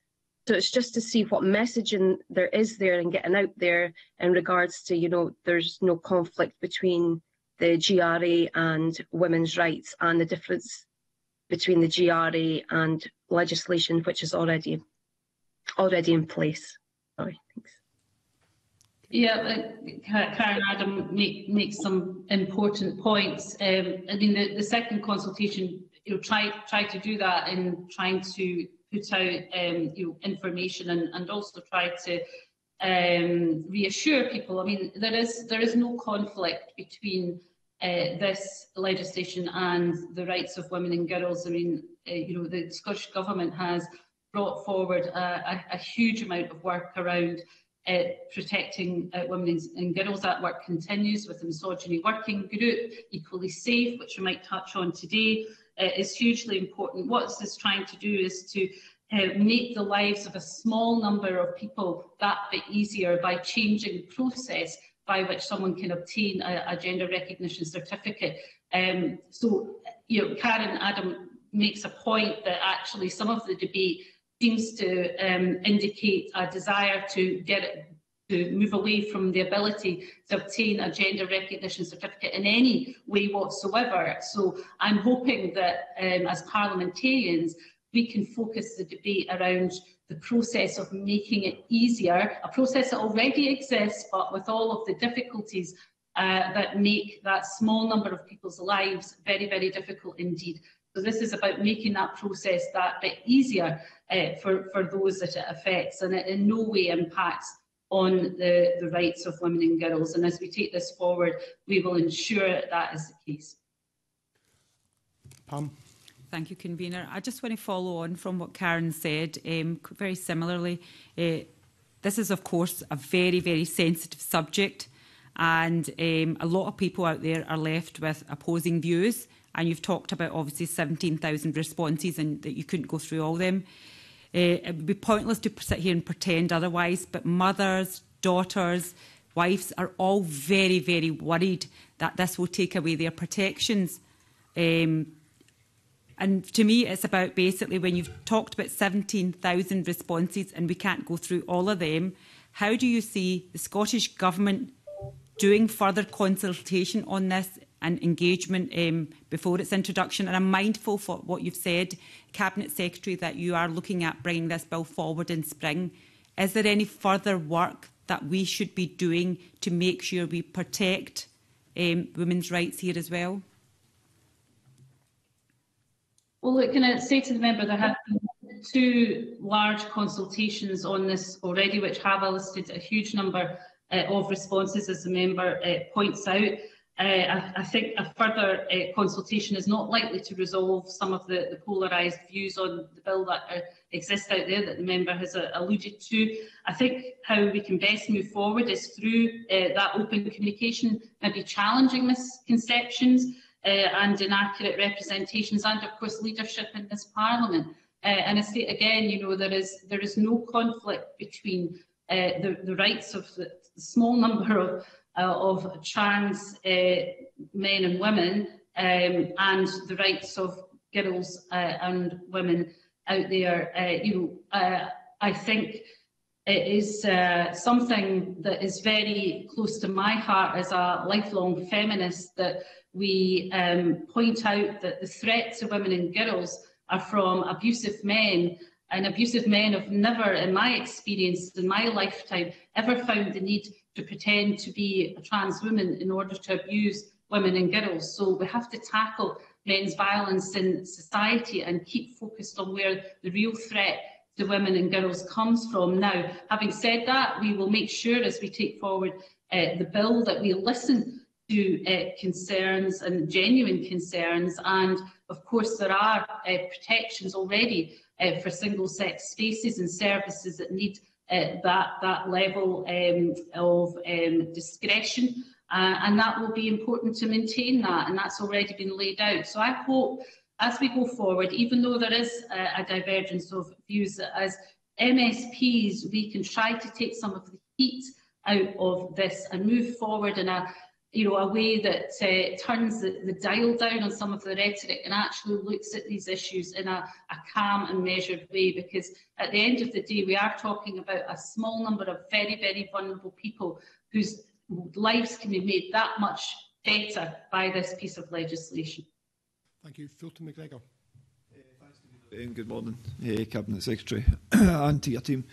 Um, I agree with um, uh, what my colleague Pam Gosal said, that it, it's certainly online, it, it does seem to be um, a very difficult subject. But we've talked a lot about engagement and the, the number of responses, and 17,000 does seem uh, like a like a fairly large response. But I wonder if the cabinet secretary would comment on the most recent um, poll, if you like, of this and uh, many many other subjects, which was obviously the recent election, and comment on the manifestos uh, which were put forward by all the political parties who have been elected to this parliament, and how important she thinks it is that um, that that governments and parties commit to their manifestos um, when the parliament restarts. I think Fulton MacGregor makes a point that social media is not necessarily representative of society on a range of issues. Uh, I think we, we all know that.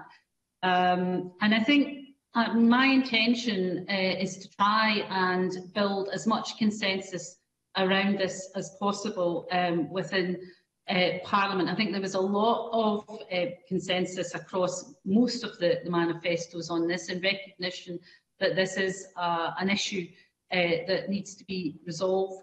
Um, we, moving forward, need to try to um, build as much consensus around and, and tackle some of the, the, issues that have been raised. So if there are suggestions that come forward um, and how this, this bill can be improved, uh, how we can um, try to reassure people as much as possible. Um, but ultimately, um, this, this is a piece of legislation to make an already um, process that already exists for uh, gender recognition certification that bit easier. Um, there are some in this debate who want to get rid of gender recognition certification entirely. I, I would hope that's not where Parliament is, and I don't believe it is, and I don't think any uh, party in the Scottish Parliament wants that. So therefore, we're, what we're discussing is the process for gender recognition certification certification and what that should be. And you know, the pro proposition here is to make that process for certification that bit easier for that small number of people whose, that, whose lives are affected by this. And by doing so, making sure we safeguard the rights of women and girls in doing so. And I've already referred to the exemptions around single-sex services and all of that, and also the, the penalties that will exist uh, for uh, misusing a system of gender uh, recognition certification. Um, so there are safeguards there. Uh, we can discuss these in more detail and I would be happy to work with the committee and to, to try and do that in an atmosphere that's respectful. Thank you very much. Anyone else want to come in on the GRA? Or are we? Okay, um, Fulton, I wonder if you want to kick off with your first area. Okay, thanks. Uh, thanks, convener. Um, Cabinet Secretary, move, moving on, I wanted to ask about the um, racial equality framework and the the action plan, um, which um, was published in March this year. Uh, and I know that the programme for government last week um, did announce that there will be an immediate priorities plan, which which, which you referred to. Um, I'm wondering if you can talk a wee bit about the immediate priorities plan uh, and the ethnic pay gap strategy, and how you think this will make a difference.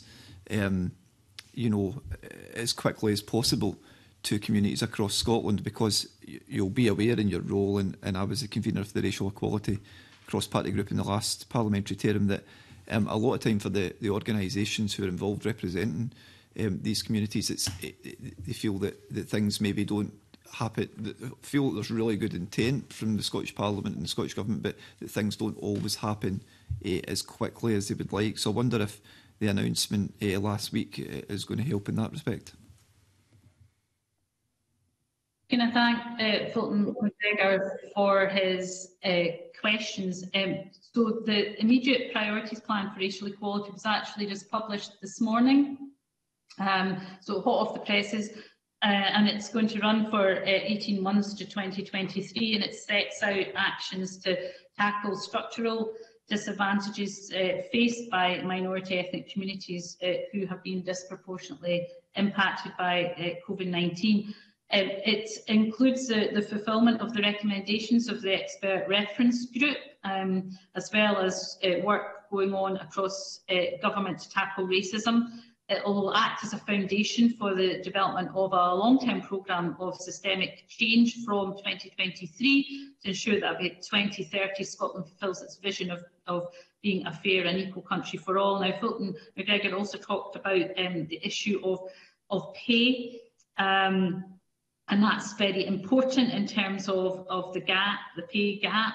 So um, we delivered a, a public sector uh, leadership summit on race equality and employment back in March to address uh, and take forward the recommendations by the Equalities and Human Rights Committee report on race equality, employment and skills.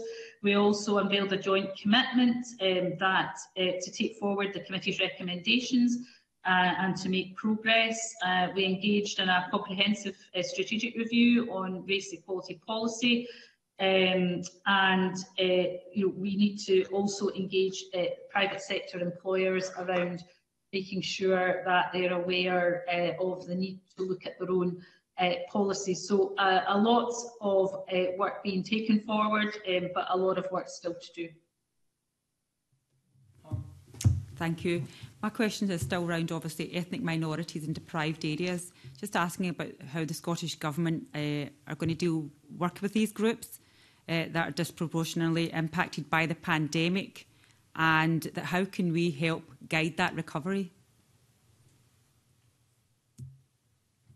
Well, that, I mean, that's a, an important question and part of the work that the Deputy First Minister has taken forward around uh, COVID uh, recovery uh, is very much focused on listening to the experiences of those communities most impacted. So uh, DFM has undertaken a number of um, engagements, listening to, to those with, with lived experience, listening to what their priorities are uh, in order to build that COVID recovery strategy that is based on the, the, the um, experiences of those who have been most impacted. So uh, again, happy to, to write to the committee with more detail on that work that the Deputy First Minister is taking forward, if that would be helpful.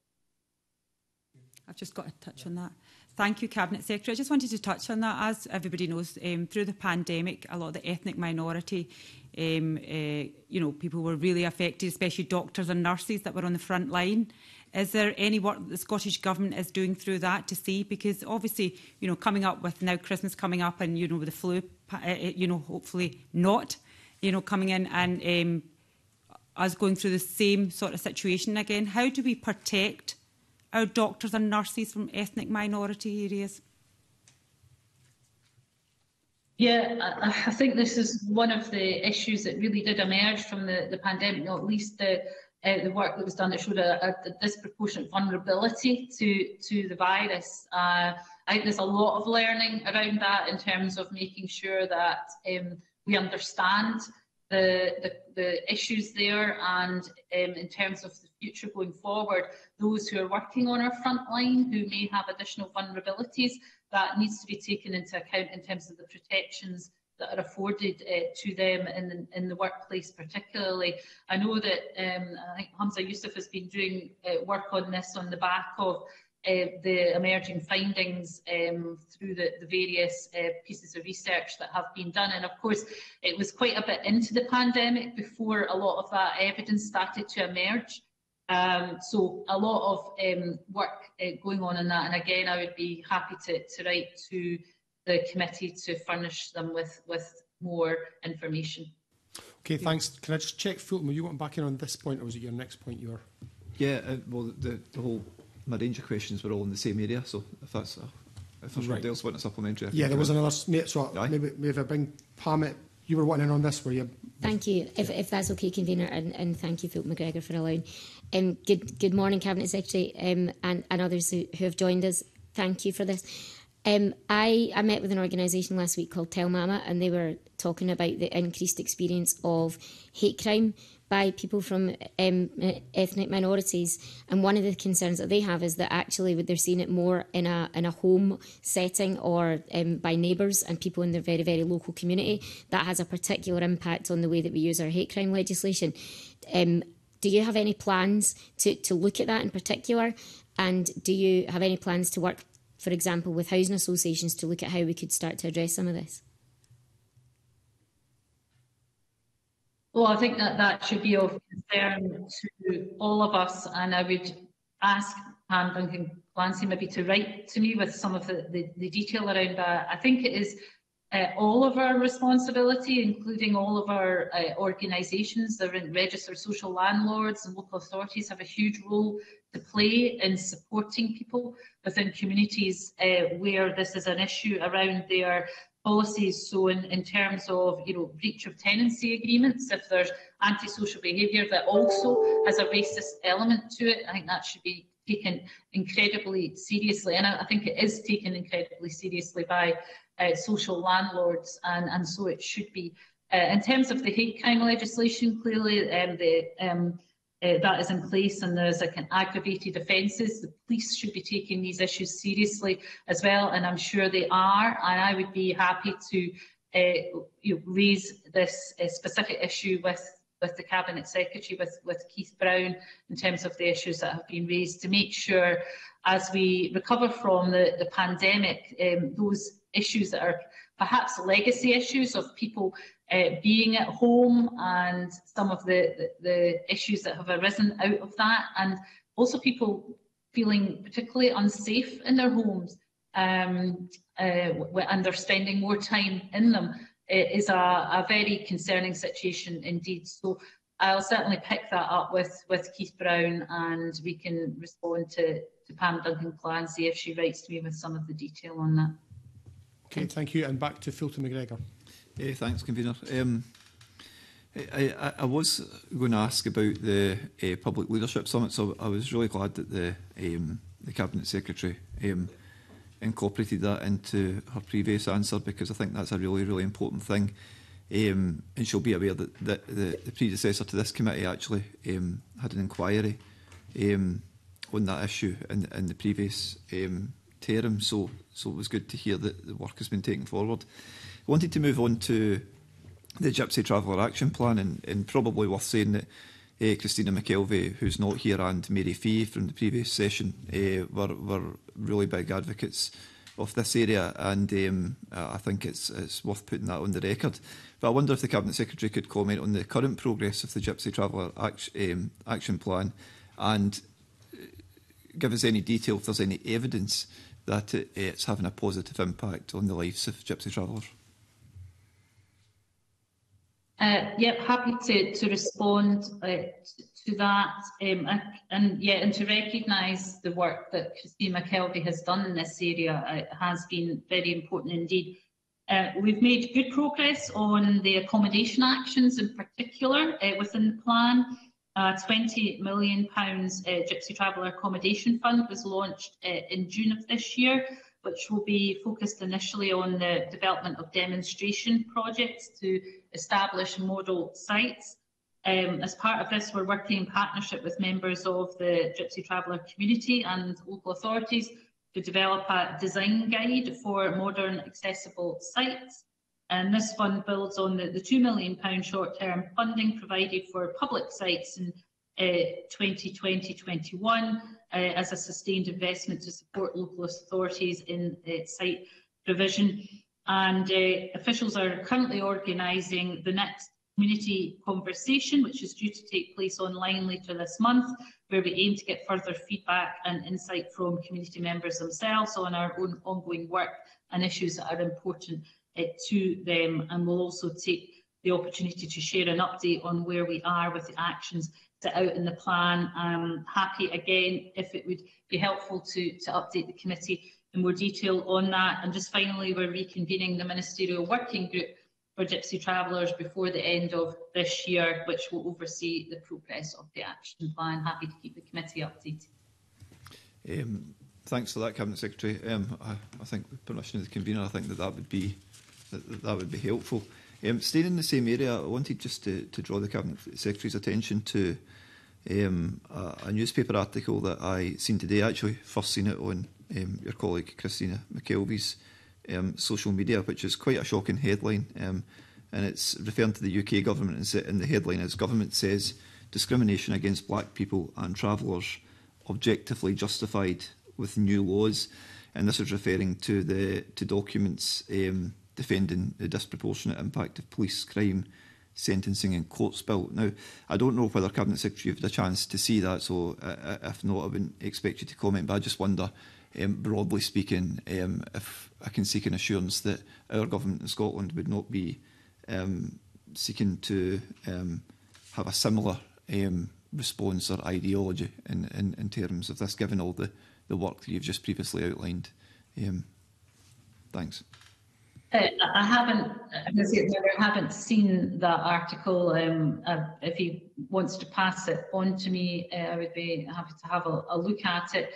I mean, I think I've laid out pretty comprehensively the ethos that uh, this government approaches uh, any issue uh, regarding hate crime or indeed the, the, the needs um, and rights of people from particular diverse communities and that is that you know they should all uh, be uh, protected and we have taken steps to make sure that is the case. The Human Rights Bill um, is a, a further iteration of trying to strengthen people's uh, rights, particularly those who are um, most vulnerable to, to hate crime actions. So um, I think hopefully given a, a, a flavour of, of the ethos of, of this government, um, and it's obviously for other governments to defend uh, their actions. Okay.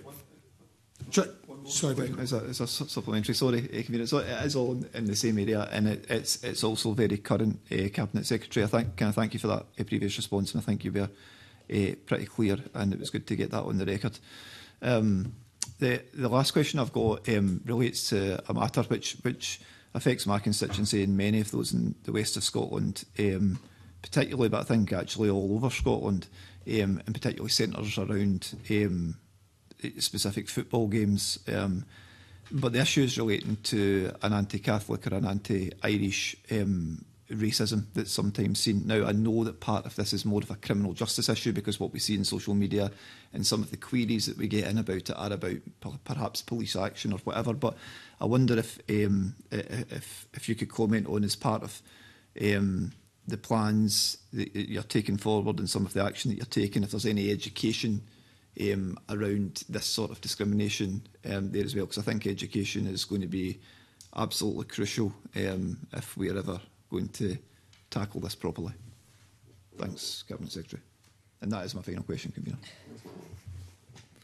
Oh, and can I thank the member uh, for his question? I mean, I think it goes without saying Scotland is a, a diverse multicultural society, and that diversity strengthens us as a, a nation, um, and we're you know the better the better for it. Um, um, and there's absolutely no excuse or justification for hatred, bigotry, or prejudice, uh, and we absolutely uh, condemn uh, anti-Catholic prejudice, anti-Irish racism. Uh, and uh, Fulton MacGregor makes a, a, a good point about tackling um, sectarianism within our schools, and there's a lot of good work going on by a number of, particularly third sector organisations within our schools to try and tackle uh, those issues. Um, you know, they are not uh, easy to tackle. Uh, some of them are deep-rooted um, and generational, uh, but we need to do absolutely everything we can to to tackle them, and uh, this government is determined to do so.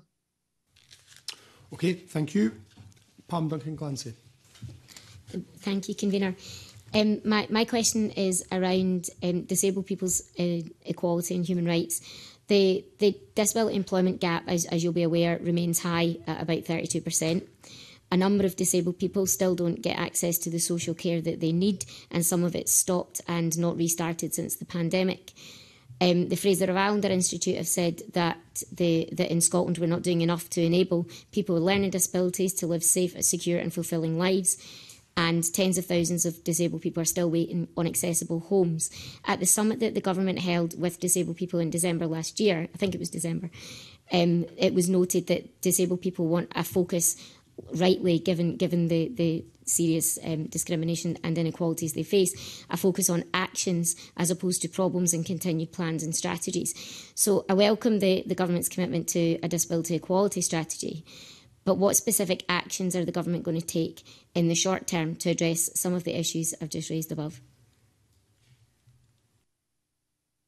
So uh, thank you uh, to, to Pam uh, Glancy for her questions. There are a number of questions there. I'll try and cover uh, them all. Um, she referred to the Disability Summit uh, last year, which was very well attended, uh, over 100 participants, and it was an opportunity for ministers to hear uh, from uh, particularly those disabled people's organisations um, and disabled people themselves in, in terms of responding to the issues that were highlighted. Um, so um, we've got a wealth of information from that summit and um, that will help to guide the development of the next disability equality plan. Um, she mentioned specifically the issue of employment and um, the Fairer Scotland for Disabled People Employment Action Plan is now uh, three years old and it sets out the actions working with partners um, to deliver the ambition to at least half the disability employment gap by 2038. The second annual progress report published in March this year highlights the, the work that's been undertaken to date in supporting uh, the delivery of that ambition. Um, the, it does show that the disability employment gap in 2019 was the lowest recorded in recent years. However, in 2020, that gap unfortunately widened, I think particularly related to COVID, I suspect, from 32.6% uh, to 33.4%. So we've got work to do uh, and we need to, to make sure we, we take um, further action to address it. Now, uh, Pam Glancy also mentioned uh, social care. That issue has, has been raised uh, by stakeholders, as you would imagine. I think um, we, we have got ambitious plans for the National Care Service, which she is more than uh, aware of, um, and uh, those will be important in restructuring our care services. Uh, but we need to make sure people are uh, supported. There are lessons to be learned from the pandemic, without a doubt, in terms of the vulnerability of, of the situation that people found themselves in. Uh, and just finally on learning uh, disability, uh, we are uh, taking forward a, a, learning disability, autism and neurodiversity bill to look at the, um, how we can make those improvements. There's a, um, a commitment to a commissioner because uh, we do recognise that there is a particular vulnerability um, and the need for um, uh, the, uh, an office that will support uh, the rights of those who are uh, most uh, vulnerable. and I should say, finally, finally, on accessible homes, um, the member will be aware that Housing to 2040 has a, a there's a lot about accessibility and making sure that homes are barrier free as we develop um, the, and deliver the affordable uh, housing supply going forward. Uh, it's really, really important that they are um, this, those homes stand the test of time and are barrier free no matter what uh, the, the challenges that someone has. Okay. Thank you. Um, thank you, Cabinet Secretary, for those answers. A number of the, the actions that you outlined there um, are, are not necessarily in legislation. So, for example, the targets around accessible housing are not in legislation. They're still up, um, up kind of for discretion, which I think reflects some of the inequalities that still exist for disabled people. Um, you, you also outline that there are plans for a national transition strategy. Could you set out why this would be a strategy and not um, a, a bill at this stage or a legislative right? Um, so we, it's important that we begin work on a, a new national transitions to adulthood strategy to uh, support uh, disabled young people as they make the transition to adult life. Um, that feels the right um, approach. Um, we can keep we can keep these things under review and under discussion, but that feels uh, the right approach to take uh, that forward. Um, and you know, happy to engage directly with um, Duncan Glancy on the, the um, detail of that as we take it forward. Thank you briefly. Th thanks very much, uh, Joe, for, for, letting me in. Um, Cabinet Secretary, just a small supplementary. You, you mentioned um, something about um, lo looking at a, a, suite of legislation or support for uh, neurodiverse people. I wondered whether you thought it would be relevant to the scope of that work to include um, discussion around our approach to conversion therapy. Uh, I know we've been talking about it in this committee around LGBTQ plus um, rights, but but I, th I, think there's an important issue around neurodiverse people who are challenged. Um, and, and people who try to fix them, and, and, and whether you see that as being a legitimate area within the scope of that work. Thank you. Uh, I think I'm probably going to reflect on that question because uh, it's quite a complex question that, that Maggie Chapman has just asked me, and I would want to perhaps write back to the committee with a response to that rather than uh, you know, re uh, respond at the moment because uh, I would want to give that some further thought. Thank you. Pam, do you want to just come in with that other brief question you had? I, I, I do. It's on a slightly different subject, um, but it is actually on end, uh, ending conversion therapy. Um, Cabinet Secretary, this morning you'll, you'll have been aware, and last week we've taken evidence on the need to end conversion therapy. And one of the things that's come across, I think, quite strongly in that evidence is that we need to um, look at the, and set out the government's policy intention in Scotland um, as, as soon as we can on that. Is it your intention to legislate to cover both sexual orientation and gender in conversion therapy ban, advertising of it, and also not to exclude exemptions in the case of consent? So we have been in discussion with the UK government uh, around this matter because, as you're probably aware, uh, the UK government has um, been has said that they would uh, be looking to um, to legislate in this area. We have had communications with them to try and get some clarity around the scope of that. Um, and we've said all along that if the scope of it um, doesn't go as far as we would want it to go, then we would look to legislate uh, ourselves. There are some complexities there in terms of devolved and reserved issues, uh, which we would need to work through.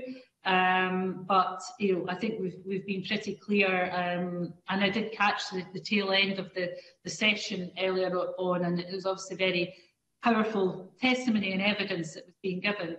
Um, so uh, I think we need to uh, find out from the UK government what their intentions are uh, in more detail, um, but it still stands, as we've said, if the UK government uh, either is not going to legislate or is not going to go as far as we would want to, then we would bring forward our own legislation.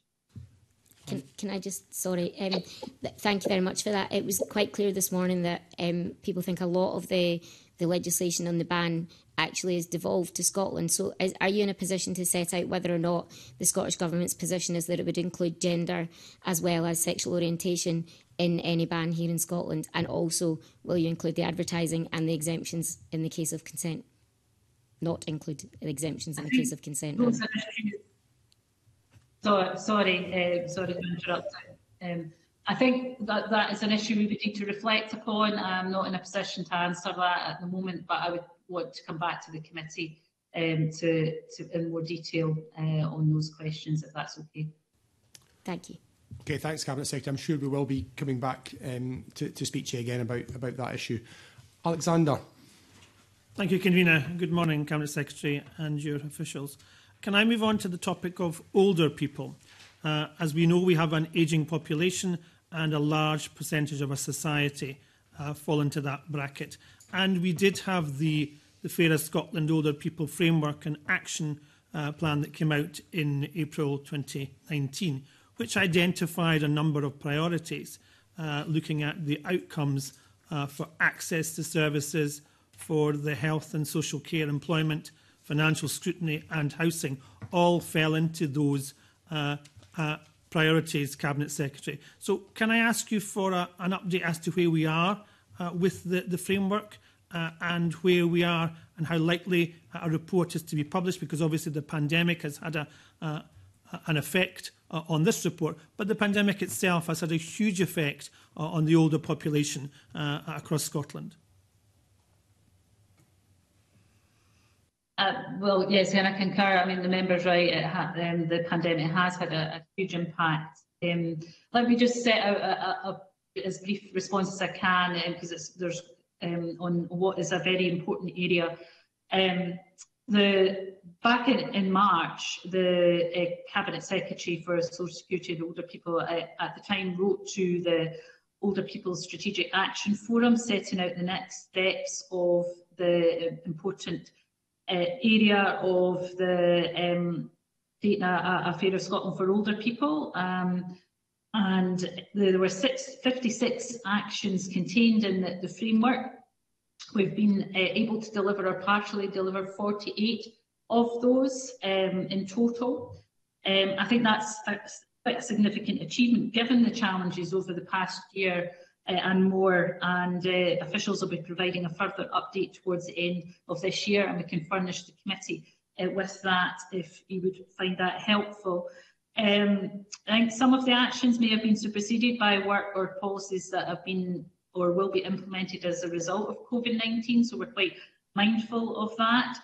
Um, we are uh, collecting feedback from the Older People Strategic Action Forum on the framework action updates particularly around the gaps or actions yet to be delivered, so the, the ones that are, are, are needing more progress to be made. Uh, we've held sessions to hear about and reflect on the Social Renewal Advisory Board re report and the review of adult social care. Um, and um, we have committed uh, to providing stakeholders with uh, an update on all the outstanding uh, actions uh, by the end of this year. And we do recognise that there is work to be done uh, to help older people recover from the impacts of the pandemic, especially as uh, they adapt potentially to new ways of living uh, in our new normal, if you like. Um, so um, the policy officials around this are working across government really to make sure that uh, the, the, voices of older people are being heard in the wider policy development that spans a number of portfolio uh, areas and the importance of using the lived experience of older people's older people themselves informs that policy making and it's really important that we continue to talk to older people through the forum and in other ways as well. You identify, Cabinet Secretary, the progress that's been made so far. And also, uh, you've, you've touched on some of the, the potential new ways of working. Uh, and I think the pandemic itself has identified that the whole idea of technology uh, in tackling, uh, for example, loneliness or social isolation uh, has developed quite rapidly uh, over the last 18 months during uh, the pandemic.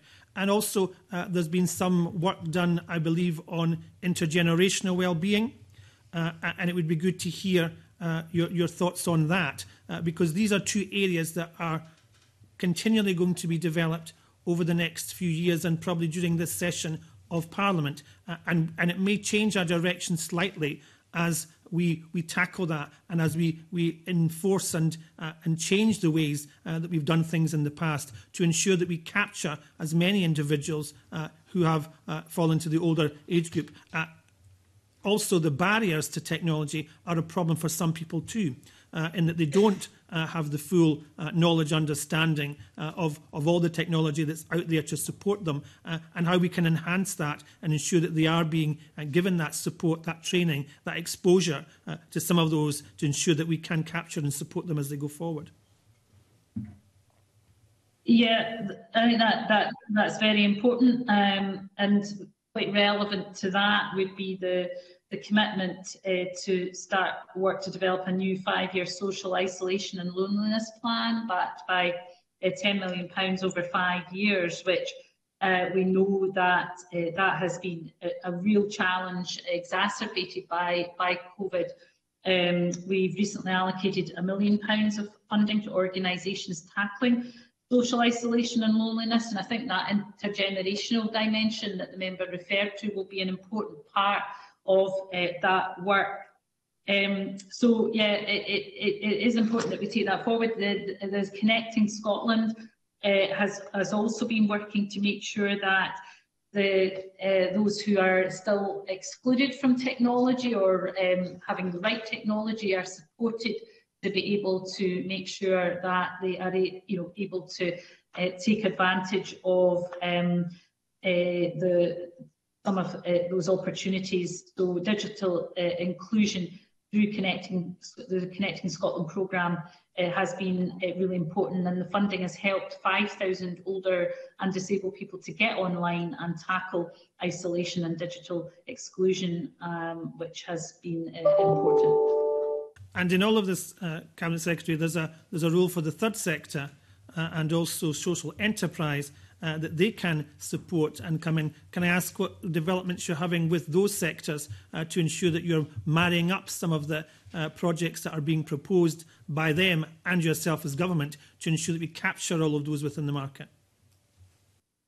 Yeah, well, you make an important point, and we've funded partners with over a million pounds to tackle isolation for those in greatest need, including uh, £100,000 for befriending networks. I mean, the role of the third sector and social enterprises has been uh, so important, and I would want to pay tribute to them all for the work that they've done through the pandemic. Uh, without a doubt, without their support, um, people would be um, much more isolated and uh, much more lonely and much more vulnerable. So I think the work that they have done has been important. There's a new um, social enterprise plan that is looking to support and grow the social enterprise network. And I think that is uh, also uh, important in taking forward that work. Thank you, Karina. Thank you. And Karen Adam.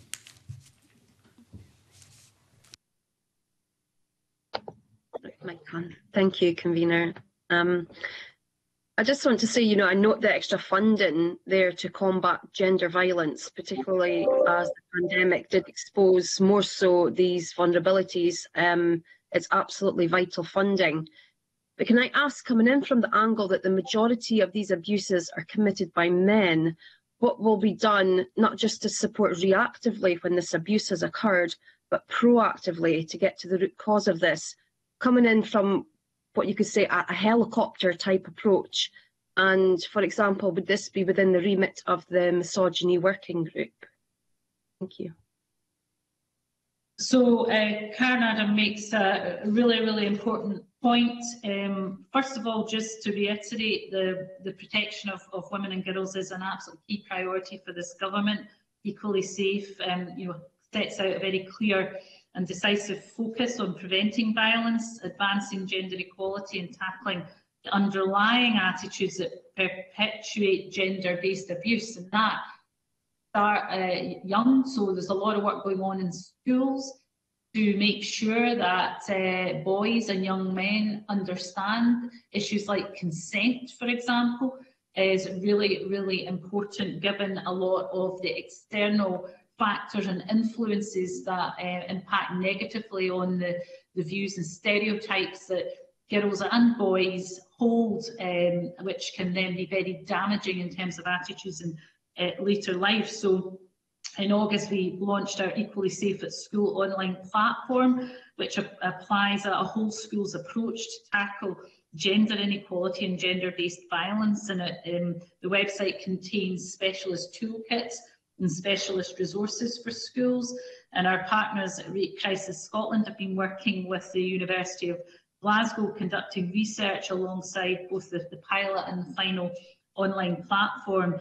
Um, again, happy to furnish the committee with uh, more information, but it is absolutely really, really important work. And we were able, of course, during the, the pandemic, where um, women and girls were at particularly vulnerable uh, where home was not a safe place to be. And of course, we provided um, new government funding of £5 million to the, uh, the frontline services to help to ensure that those affected can access the support they need more quickly. And that's part of uh, also a £100 million um, uh, support generally to frontline services uh, over the next three years to support that important work. Karen, did you want to come back in?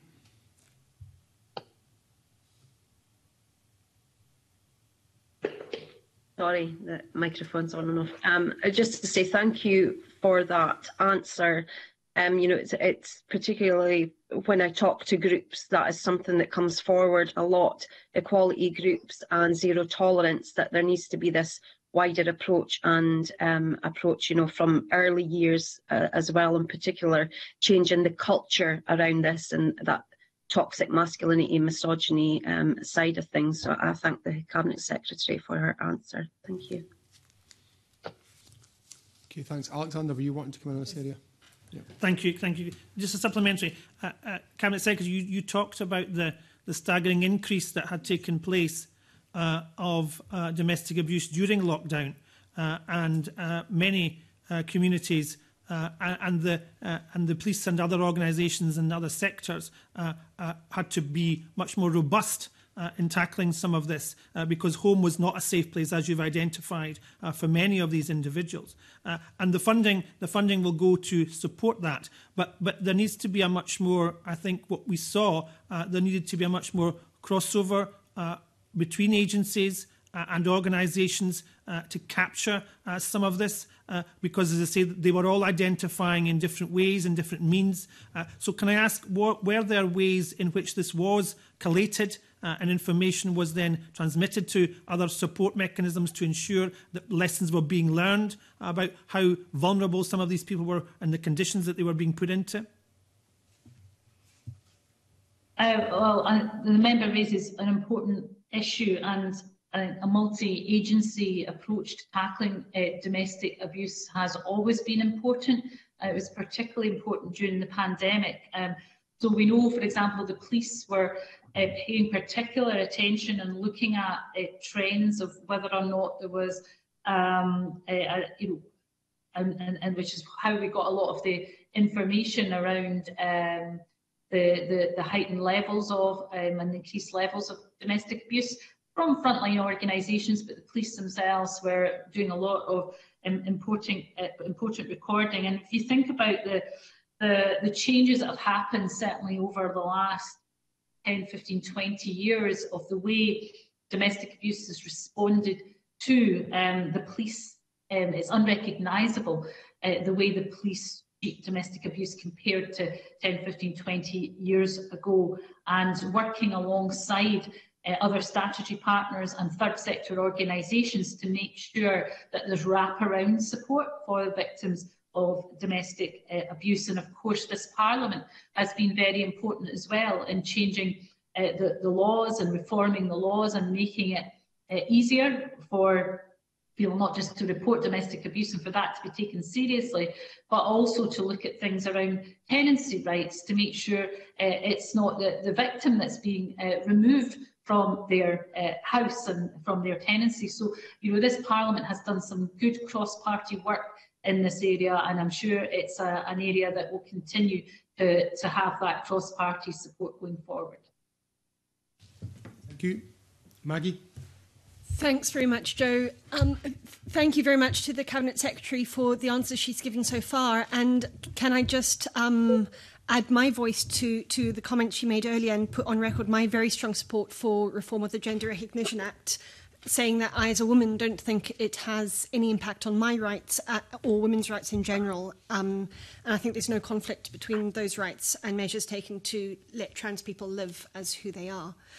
Um, I want to ask just a couple of questions on New Scots refugees and support available for them. And I welcomed your the first comments you made about um, your unequivocal, uh, unequivocal support for, for Afghan refugees. If we look at the New Scots Refugee Integration Strategy, it's coming to the end of its life. It comes to an end next year. Can I ask for a little bit more detail about what plans, in addition to the £500,000 um, to provide support uh, to local authorities to accommodate more unaccompanied children. Um, what plans does the Scottish Government have to refresh and expand the strategy, to, e-, especially in light of, of increased demand around refugees coming fr from Afghanistan? Uh, can I thank uh, the member for, for, those questions? Um, so the the second new Scots refugee integration strategy uh, it runs until December ne next year, and partners have begun discussions uh, on arrangements to develop the, the third strategy with the aim of publishing that in 2023.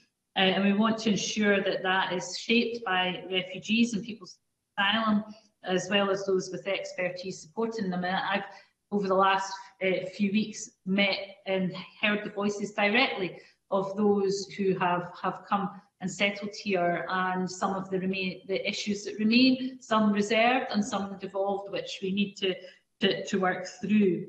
Um, the, the, the member also made reference to um, the work with uh, COSLA in terms of the Ending Destitution Together strategy, which was published in March of this year. And it looks at improving and strengthening the support provision uh, for people with uh, no recourse to public funds. Um, it's been informed by very powerful testimony from people with lived experience uh, who have suffered destitution. Um, it sets out initial actions to deliver essential needs, enable access to specialist advice and advocacy, and um, making sure that people uh, can pursue their ambitions and be active members uh, of our uh, communities. And just as I said in my opening remarks, um, this is very, very pertinent um, at the moment in terms of the work that we're doing to make sure that Scotland plays its part in supporting those who have um, come from Afghanistan um, in you know, quite you know, terrible circumstances and you know, who are very vulnerable uh, indeed. Um, uh, Afghan families are already being welcomed into Scottish communities under the locally employed staff relocation scheme. We've got 22 local authorities so far. Um, um, expressing uh, um, keenness to support the Afghan Citizens Resettlement Scheme. Um, we've been pushing the UK government for more information. I had a, myself and Angus Robertson had a meeting with UK ministers last week to uh, look at the, the detail, look at the, funding and make sure local authorities have the information they need. There are some practical issues about access to interpreters uh, making sure that people who are coming into, first of all, into hotels are then resettled uh, as quickly uh, as possible. But you know, I've just finish on this point that we have a, a long history of welcoming uh, people of all nationalities and faiths, including those seeking refuge and asylum from war and terror uh, elsewhere, and uh, it's important that we continue to play our part. Thank, thanks very much, Cabinet Secretary, for that. And it, it's heartening to hear the, the, the, focus on lived experience. I think that's, that's a, a theme in, in this committee across, across uh, lots of different elements of, of, our work. Can I just follow up on, on what you were saying about the ending destitution strategy and can I ask what, what has been the response, I suppose, primarily from the th third sector organisations that this has to work in partnership with?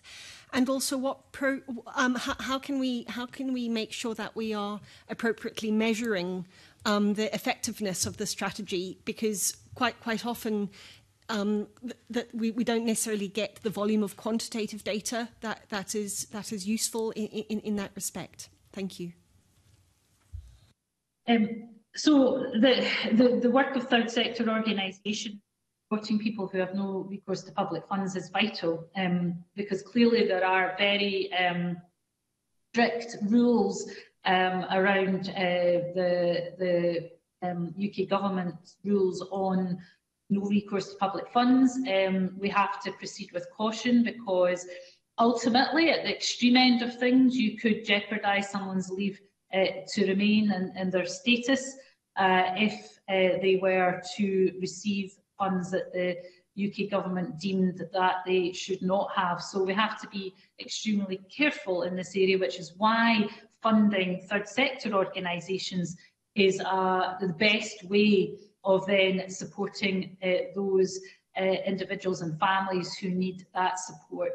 Um, I would just make the, the point also that um, you know, when you look at the skill level and skill base of many uh, of those who have come here, either through a refugee or asylum seeking processes, uh, they're hugely skilled uh, and hugely valued and potentially valued members of our communities. And, uh, you know, the sooner they are able to um, use those skills and be able to work, for example, then that, you know, the better for our communities and society at large. So unfortunately, some of these issues uh, remain uh, issues reserved to the UK government, but we continue that dialogue in order to try and work through uh, some of the barriers that uh, remain for, for some of the most vulnerable members of our society. Thank you very much. Thanks. Pam Duncan Glancy. Thank you. Um, what are your understandings, um, Cabinet Secretary, of any gaps in equality data and how these could impact on policy development? Um, okay, I'm happy to uh, say a little bit about that and maybe actually bring in officials at this point who will be a bit closer to the detail on the, the data challenges. Um, I think one of the uh, issues uh, with data is if you don't have it, it's difficult to benchmark in terms of knowing what the progress you are making and the progress that you've still uh, to make. Um, so uh, I think um, we've got strengths and weaknesses uh, in our data collection. I'm just trying to think which official would be uh, best to bring in, whether that would maybe be Jess in this matter.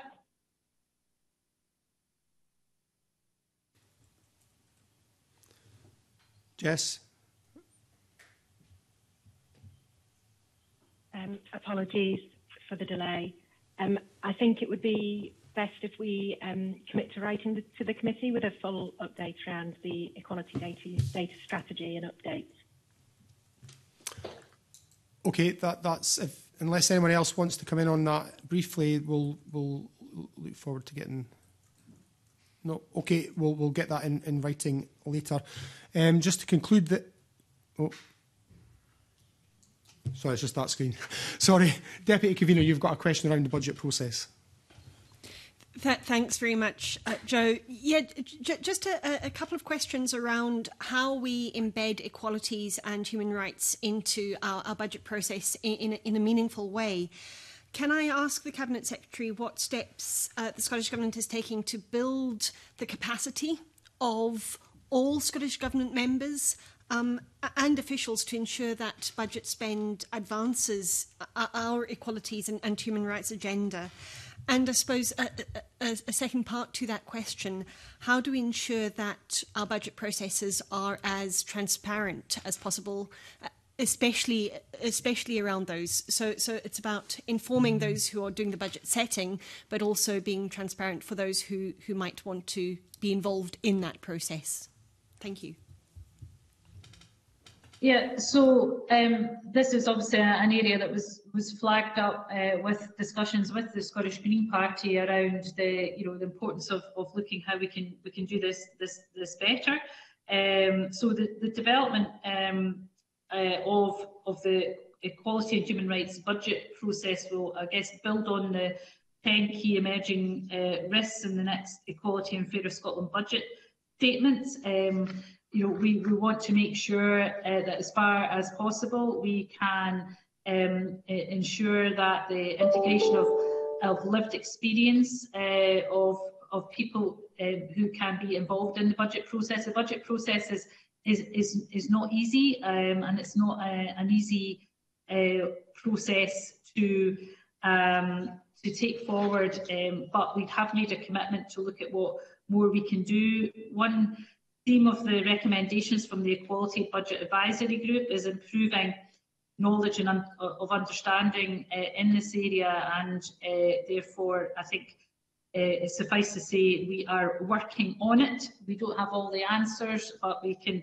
come back to the committee with uh, more um, detail if that would be helpful and maybe just um, in answer a little bit to the last question which I Uh, I can see, um, and we will write to the committee around the gaps. Um, we have published research to improve our understanding of, of the collection and use of equality data and data on socio-economic disadvantage by uh, Scottish public sector bodies and that will help us to um, understand uh, where the gaps are and how we ensure that we uh, fill those gaps going forward. As I say, we will um, write to the committee with more um, detail on that. Th thanks very much for, for that, Cabinet Secretary. If, if I can ask, in, in that um, uh, written written information that you provide, could, could you maybe uh, be, be very clear and address the, the 10 risks that were identified in the Equality and Fairer Scotland budget statement, just, just to make sure we, we are clear about what work is happening against each of those identified risks. And also, um, similarly, information against each of the recommendations of the Equality Budget Advisory Group. It would be really useful to, to, to have that in the written response. Thank you. I'm happy to do that. Okay, thanks. I think that takes us to the end of the questions um, today. Obviously, there's a couple of areas that um, you agreed to, to write to us on, so we look forward to receiving those responses. And, and obviously, Cabinet Secretary will be seeing you next month um, specifically to discuss the budget, so we'll be able to, to come back to some, some of these points um, at that opportunity. But for now, thanks to you and thanks to all your officials. Thank you. Okay, members, that then takes us to our next item of business, which is consideration of a Scottish statutory instrument that is subject to the negative procedure. And I, I refer members to uh, paper six. Do members have any comments on the Age of Criminal Responsibility Scotland Act 2019 Register of Child Interview Rights Practitioners Regulations 2021? No, okay, no member has indicated they have any comments to make. That being the case, are members content formally not to make any comment to Parliament on this instrument. Okay, that is agreed. We'll now move into private session for the final items on the agenda. Thank you.